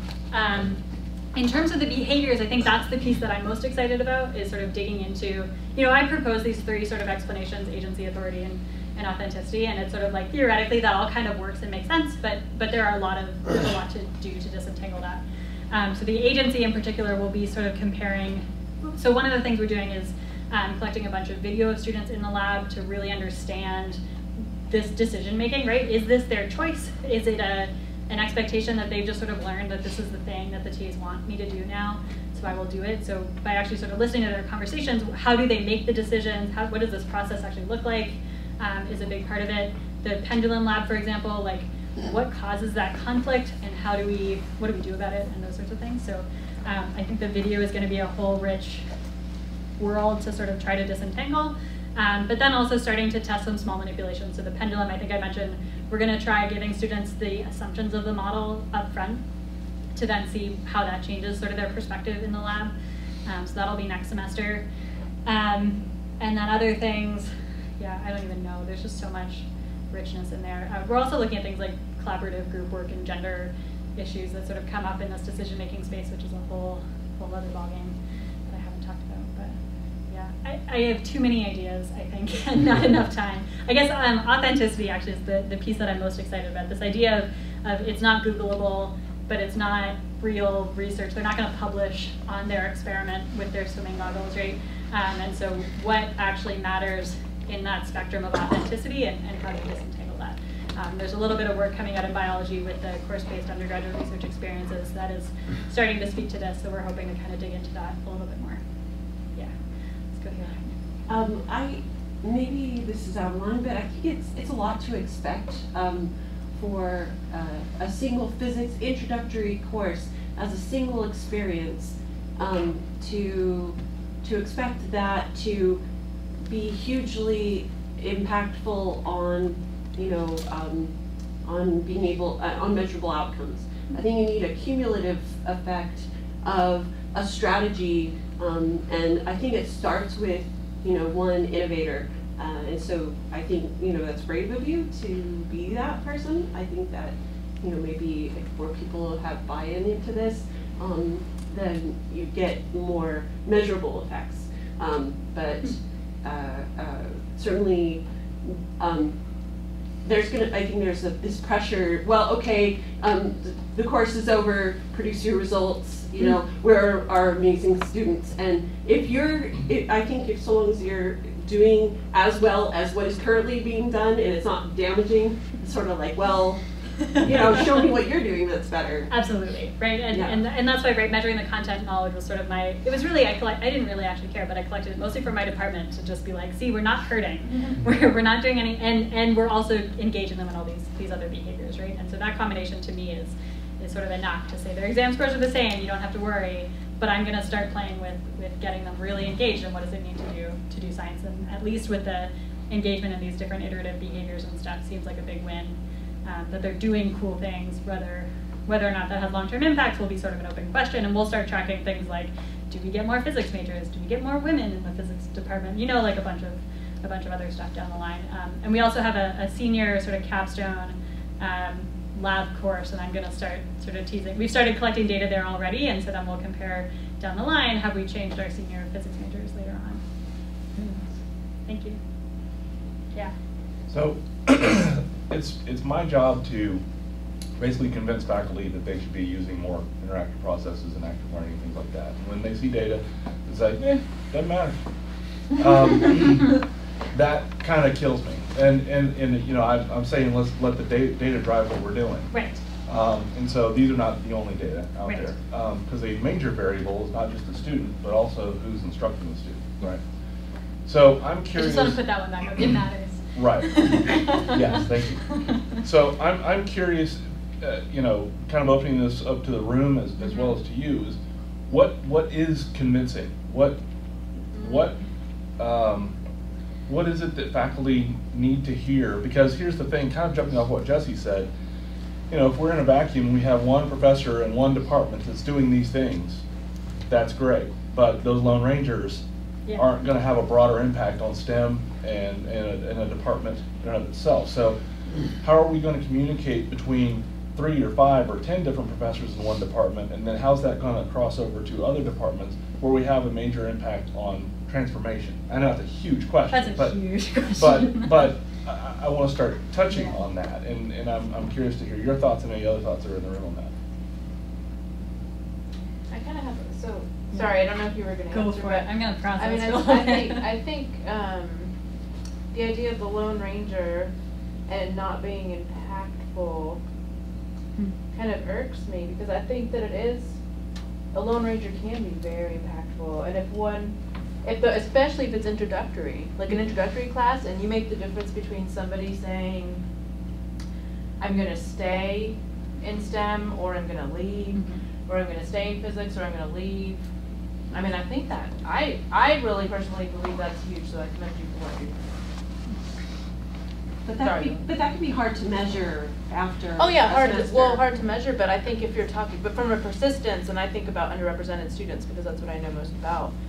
Um, for a, pers- from a persistent standpoint, I think the approach that is being taken can be huge. And But I- they may buy in and may actually stay. But I, I would also say if what you're doing is improving attitudes rather than knowledge, you may not see that until the person's in graduate school, right? Right, but I think it's gonna, I thi- I think it's gonna pay off, like what you're doing, and. So, I mean, the, the Lone Ranger and, and how do you actually make broad change is, you know, there's, I'm sure you know, there's tons of people, entire PhDs sort of evaluating this question. And, um, you know, the, I'm most familiar with Charles Henderson's work, um, uh, where is he, Western Michigan. Um, and, you know, they have these very unfortunate studies where they, you know, ask faculty who have changed, you know, what made you change? And data isn't it, unfortunately. It's sort of one of those things that if we didn't have data, no one would believe us. But even though we do have data, they still don't believe us. Um, and so, you know, their experiences, they say things like it was it was hallway or lunchtime conversations and, and things like that. Like those are the pieces that, you know, unfortunately, that's why I start my talk with anecdotes. um, because those anecdotes, you know, pull at our heartstrings, right, and, and remind us of our personal experiences, and that, that seems to be the piece.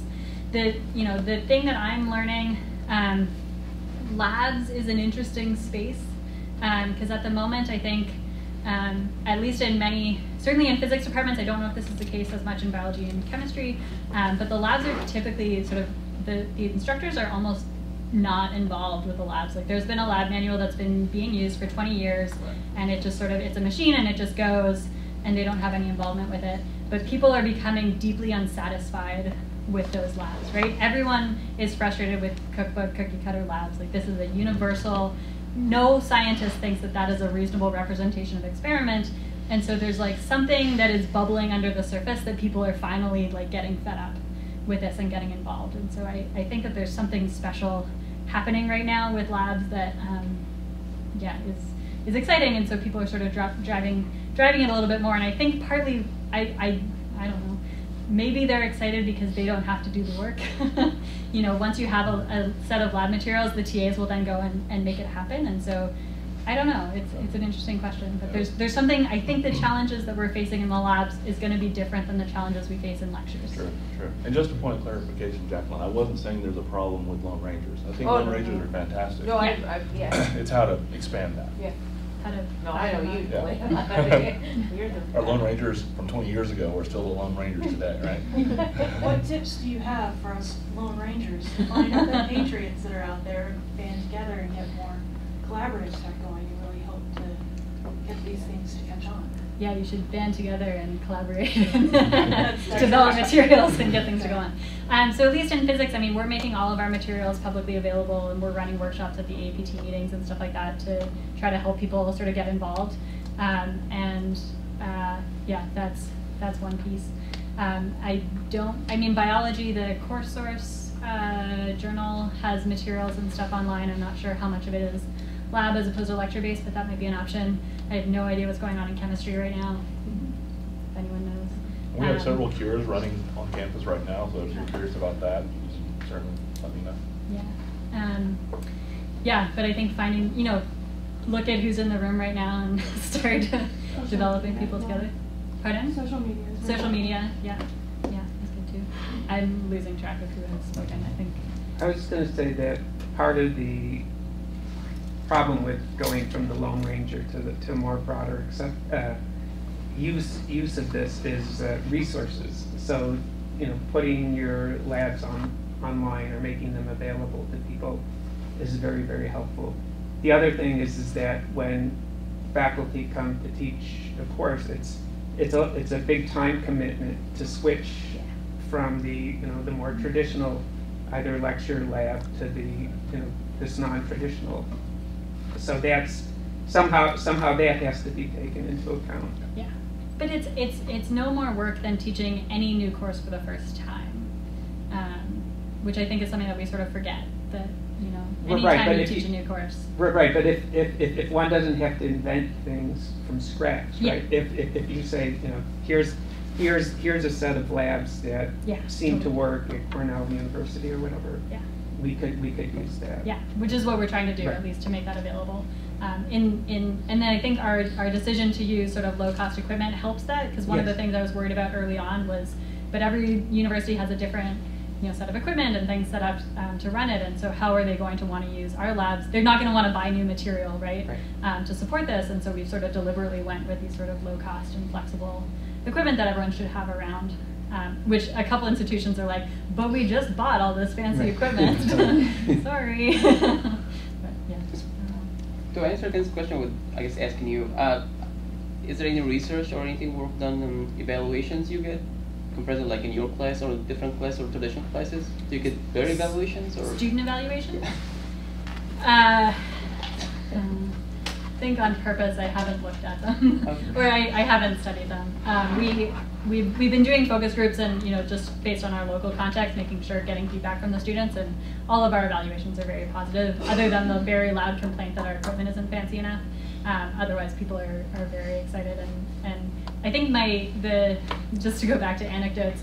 The um, best piece of feedback that I got was from an upper division student who came to me and said, "We heard what you're doing in the labs, and I wish I had had that when I was in first year." I was like, "Done."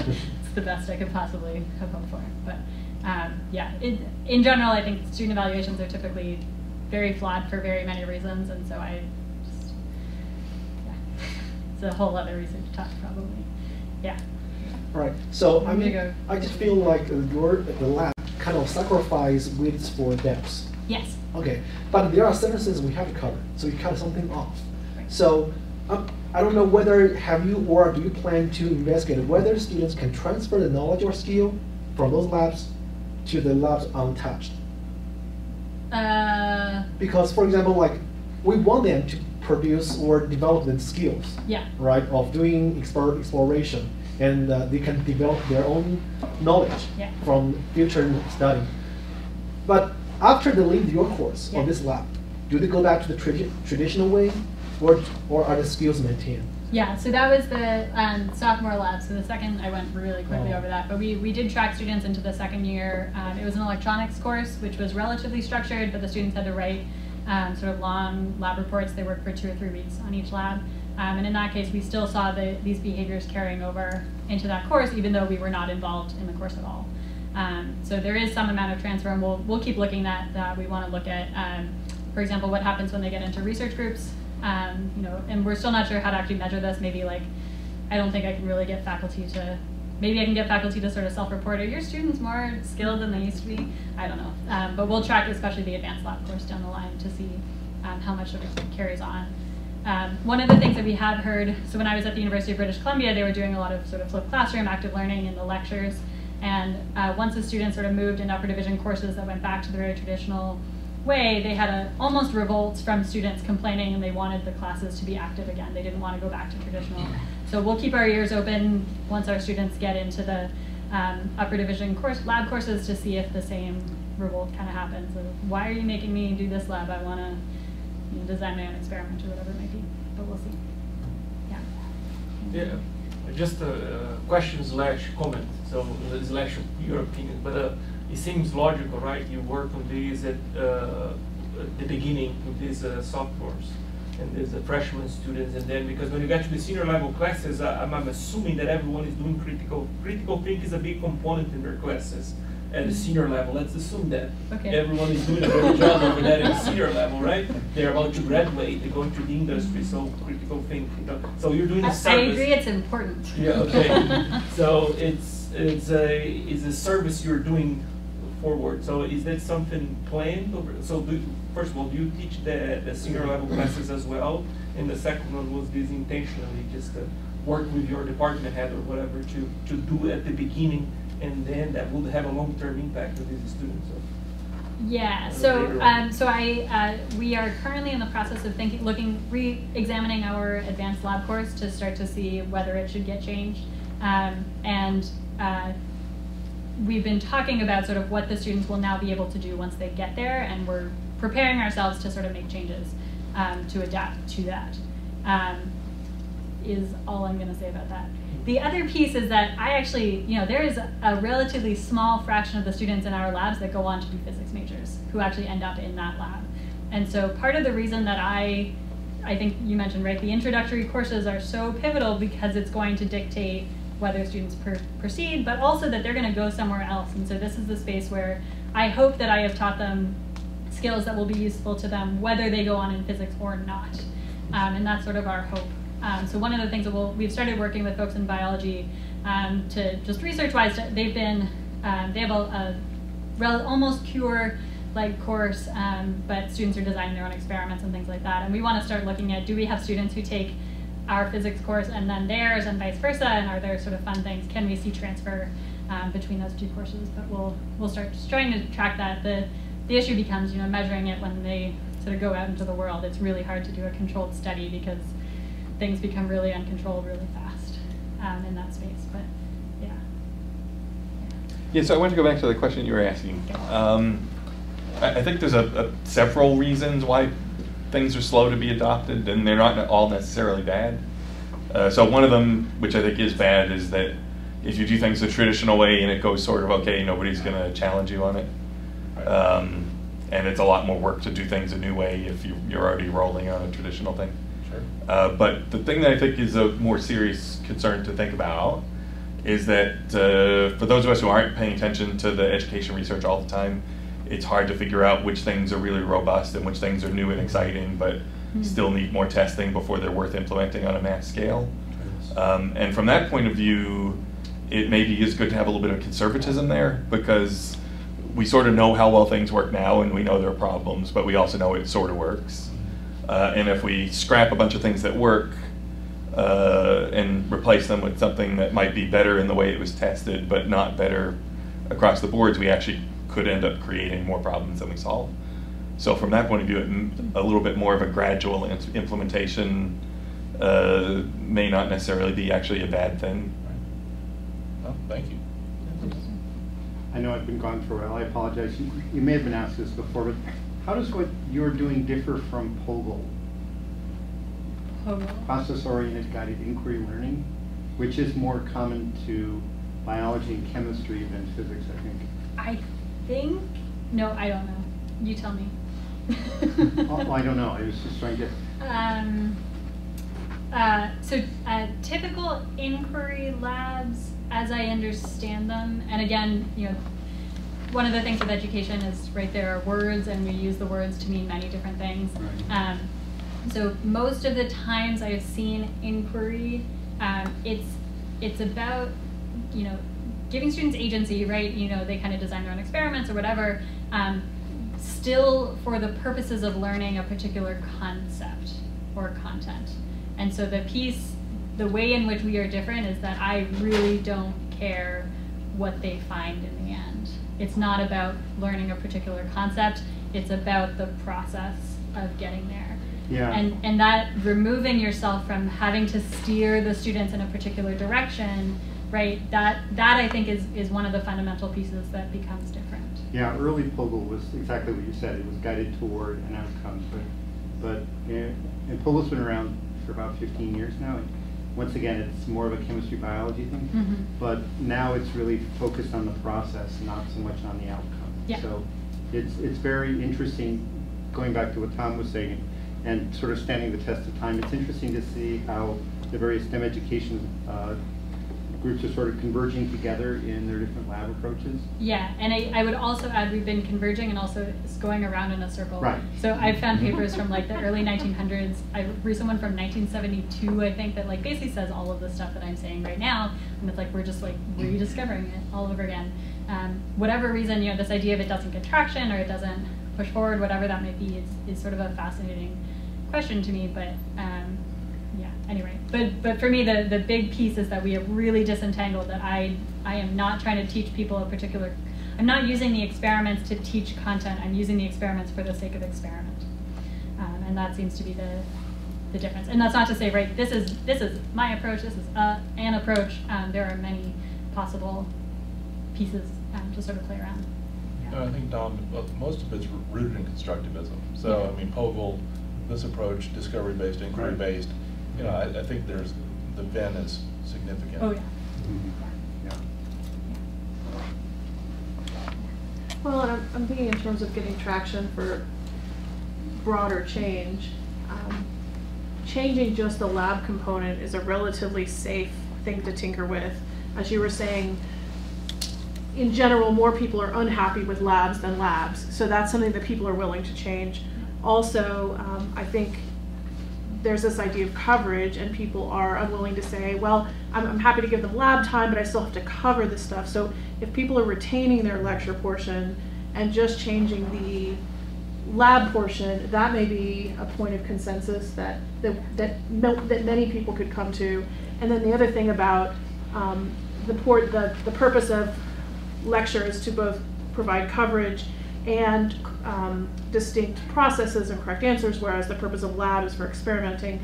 I know one of your particular interests, Ken, is looking at um, non-major courses. You know, we have these service courses, and that's the, the, the hard thing about the lone wolf is that if you have a great course for non-physics majors and then you don't see them again because they're non-physics majors, it's hard to tell what impact you've had. But if you can see an impact spread possibly just across the isolated lab components, across courses, across uh, disciplines, that may be a really nice point of comparison and a, a place where people are willing to take a risk of change. So I see great hope in, in that, that lab component. And, you know, I'm this- curious about, and, and this is, this could open a can of worms and, and uh, it result in a lot of harums. Um, uh, is there an, are we saying something by not saying something um, with who is teaching the laboratory? So I think that the students get this concept in their in their minds, not all, but some, get this thought that well, it's a graduate student to student teaching the lab, so even the faculty don't consider this important. Right. I'm not saying that that's true. I'm saying that that's a perception, right? And and do you know to what degree have you done any sort of perception analysis on that sort of thing? Um, the only related piece that I have is how much the lab is worth in Yeah, the course that too, breakdown. that too. Um, so our, you know, we have a four credit course where nominally three credits is the lecture stuff and one credit is the um, lab, but our labs, and Beth and I talked about this earlier today, our labs are not worth 25% of the course, they're worth more like 10. Um, and, and that sends a message to students, and I've had students in focus groups explicitly say, I, there's no, it's hard for me, I think the comment, the, the, it was actually this tension between like they're excited and they want to put effort into the lab, but but they see those numbers and it's worth it for them to put the time into the other class um, rather than this one, which is which is a problem. So, um, and that's that's the graduate, you know, the TA issue aside. I don't even know. What that would do. Yeah, because there are, there are fantastic graduate students doing fantastic Yeah. work in these classes, and then there are some that they just kind of show up, right? And If that. If that.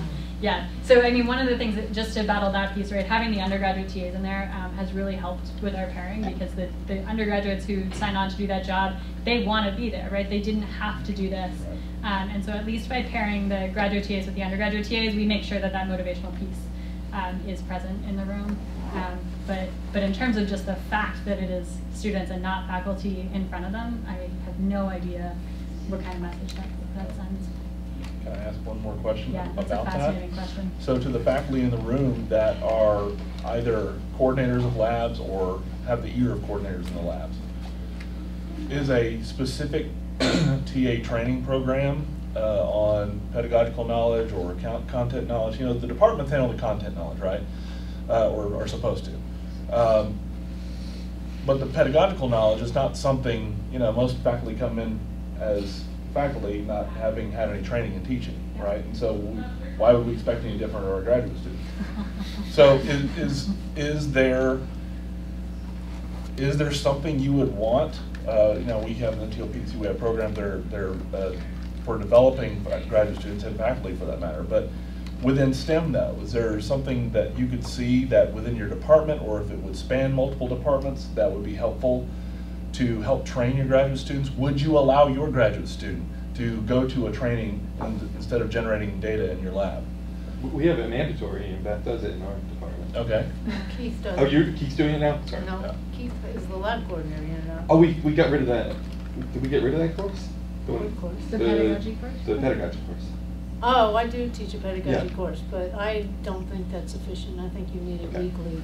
That's Okay. why I'm saying that. Yeah. I think that, that whole course was never my idea. I do, I do teach it. But I think that you can't do it in a semester. You need it weekly. You need it in what Keith is doing. And That's where you need to have the growth. Yeah, we tried it in biology, and, and so many faculty said, no, I, I need them generating data, not learning how to teach, literally. So, other, I think you, you might be able to pull the safety part in biology and chemistry, right? But like they might hurt someone, so I need them here to go over the, the safety oh, procedures. Oh, nice, nice. In physics, we have a harder time doing Right. The, so, based, just based on my experience in chemistry, it only, the, the only purpose of the TA meeting with the instructor of record, assuming that they have one for the more introductory courses, is this is how this lab is supposed to work, here are suggestions to make it work better and faster, these are the safety issues that come up, thanks, have a great day. Right. That's the entirety of the TA meeting. Um, there's not really a lot of focus on pedagogy at all. Do you ever, do you ever get pushback from the, so you said your labs spread out over multiple weeks. And there, there's a lot of research that, that's been done over the past several decades that says that, you know, less is more. If you teach them how to learn, they'll learn. It's not Mhm. necessarily you've gotta cram everything together. Do you get any pushback from your colleagues about teaching less in the labs? No, and and it, it worries me because I and I like literally have to keep showing up to faculty meetings just to be like, really, you're all okay with this? Like here's here's my evidence, here's my data, it's fine, but like you're all Okay. okay, and they they are are wonderfully enthusiastic. So I I may just be very lucky, or I may have a storm coming for me, you know, tenure time or something. But so far so far so good. And again, it, it it goes back to I think there's something different about the labs. I think they are deeply unsatisfied, and so anything is better at this point.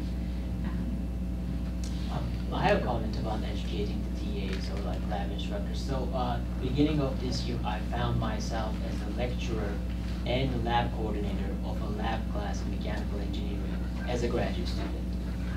And uh, so I've been doing that class for like two years. I've been coming TL to TLPDC workshop back and forth, and like I have some idea about how to do it, but my uh, my colleagues they don't have any idea, and it was one of them's uh, first ever teaching uh, experience, like teaching assignment. So I had to do a lot of meetings with them. I showed them how I conduct my lectures because I didn't want like any difference between my labs and their labs.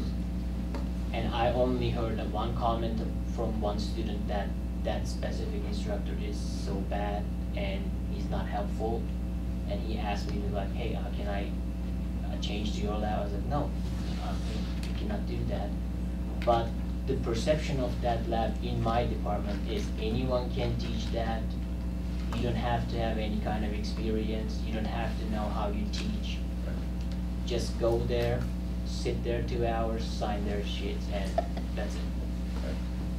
So mechanical engineering would benefit that a lot. And is that because they have a fairly established lab manual they're using? No. So, oh, really? Okay. So they have uh, inexperienced TAs and. Is it because they don't care that much? I don't want to say that specifically, but it's a one-hour credit lab, and I feel like it is like the content is really well structured, but not the entirety of the class. Content is fair, it's easy to teach.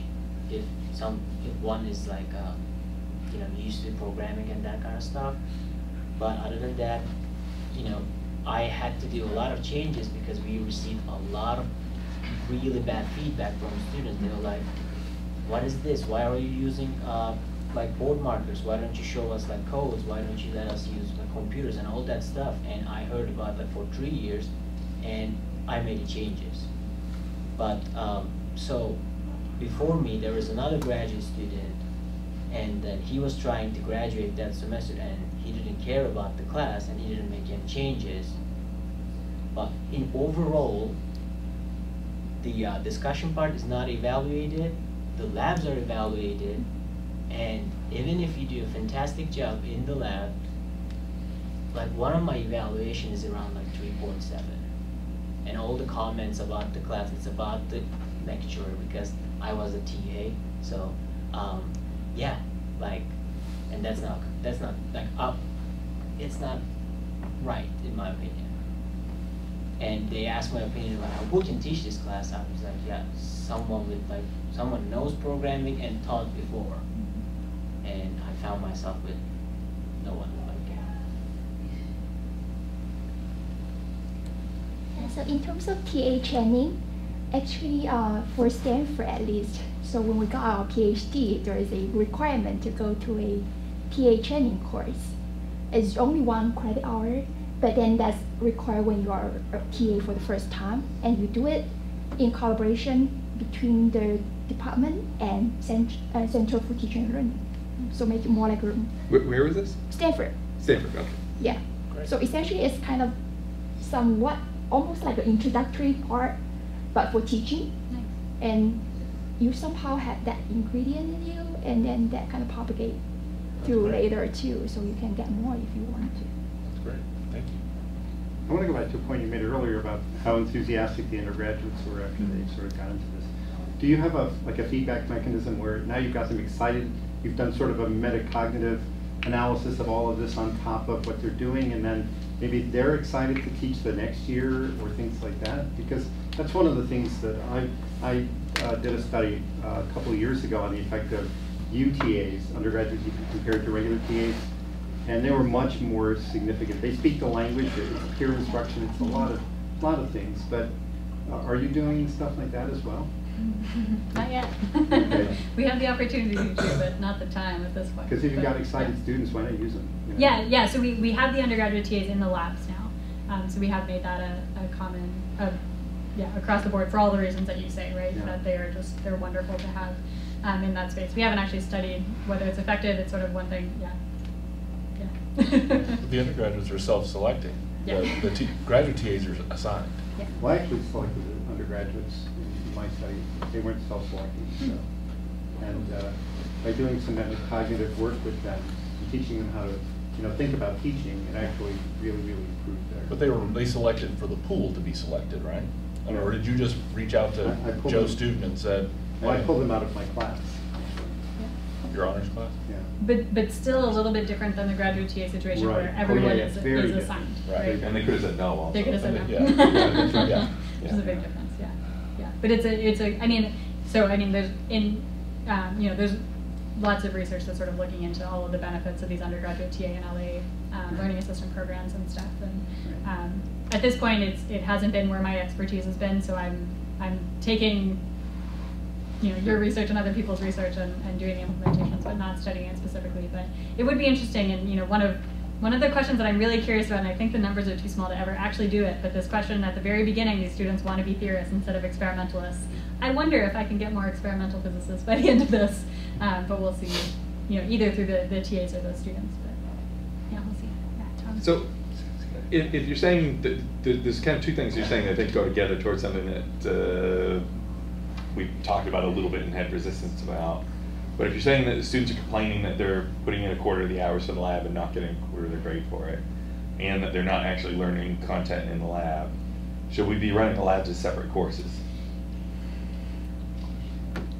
And have the, them graded completely separately as a one credit course? Which we do, okay. And, yeah, Yeah. a- and then if they had scheduling issues, they could come back and take the lab a different semester also. I don't see why not.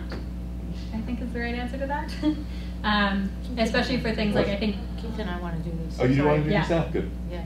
And I think we We'll mentioned talk. AP credit, right? That students Yeah. could AP out of the lecture but not the lab. You know, you can do things like that. I think the risk becomes that, um, you know, because the intro courses are serviced to other departments, right? That they will no longer require the lab, and students will only have to take credit hours so through the lecture part, and so by Not the here end of it. because it. it's a university core that they have to have lab science. Oh, there you go. Um, I think the bigger risk here is uh, you could end up having some lags where students just needed a lab course to graduate and weren't able to get into it. But in this case, right, I think the benefit is because the content is so disentangled, and if you really have open-ended questions where it doesn't matter what you're coming in with, right, then that should be fine. I want to go back to everything I know about physics I learned from the Big Bang Theory, right? Wait, the TV show? Yeah. Oh, No, God. I'm, I'm teasing. I'm teasing, but I'm getting back to the point about why, you know, they hate lab and they want to be a theoretician. Oh, I could, I could, I think this needs to eventually be, I need to pull together Is like the, everything I hate about um, popular culture about physics, right? Like everything from, and my biggest one, my biggest pet peeve actually is the LIGO um, Mm. result, right? What was the big headline after LIGO discovered gravitational waves? Confirmed Einstein. Confirmed Einstein, right? Not that we did this crazy thing and measured two black holes merging in outer space. Like that's nuts. It was that we confirmed Einstein, right? Like, Right. So, so theoretical physics is sexier than Yeah. experimental? That's- which, which, good for them, right? Like that's not easy to do. But yeah, but but that's, I mean, that's one of my, and I'm I'm I'm a physics education researcher. I'm not an experimentalist by any means, but I just think it's experiment is so cool. Like, why wouldn't you be excited about that? So. On that note. On that note, we're gonna, um, I can plug into this, I was a grad student at Cornell. In theory. I was a theorist uh, at Cornell, but at Cornell, there are no, re- or at least when I was there, there are no required courses except for advanced lab for graduate students. There, that is the only one required course. I also will have to say, I made an A plus in advanced lab. And that was unheard of. Most people made, they made A's or B's or C's or A. And they tried to make me an experimentalist, but it didn't work. But anyway, we, we need to end. It's three o'clock and I actually have to be, uh, I have to talk to some students across here. You can stay and talk to people. I think we have to give her a break. She's been talking for two hours.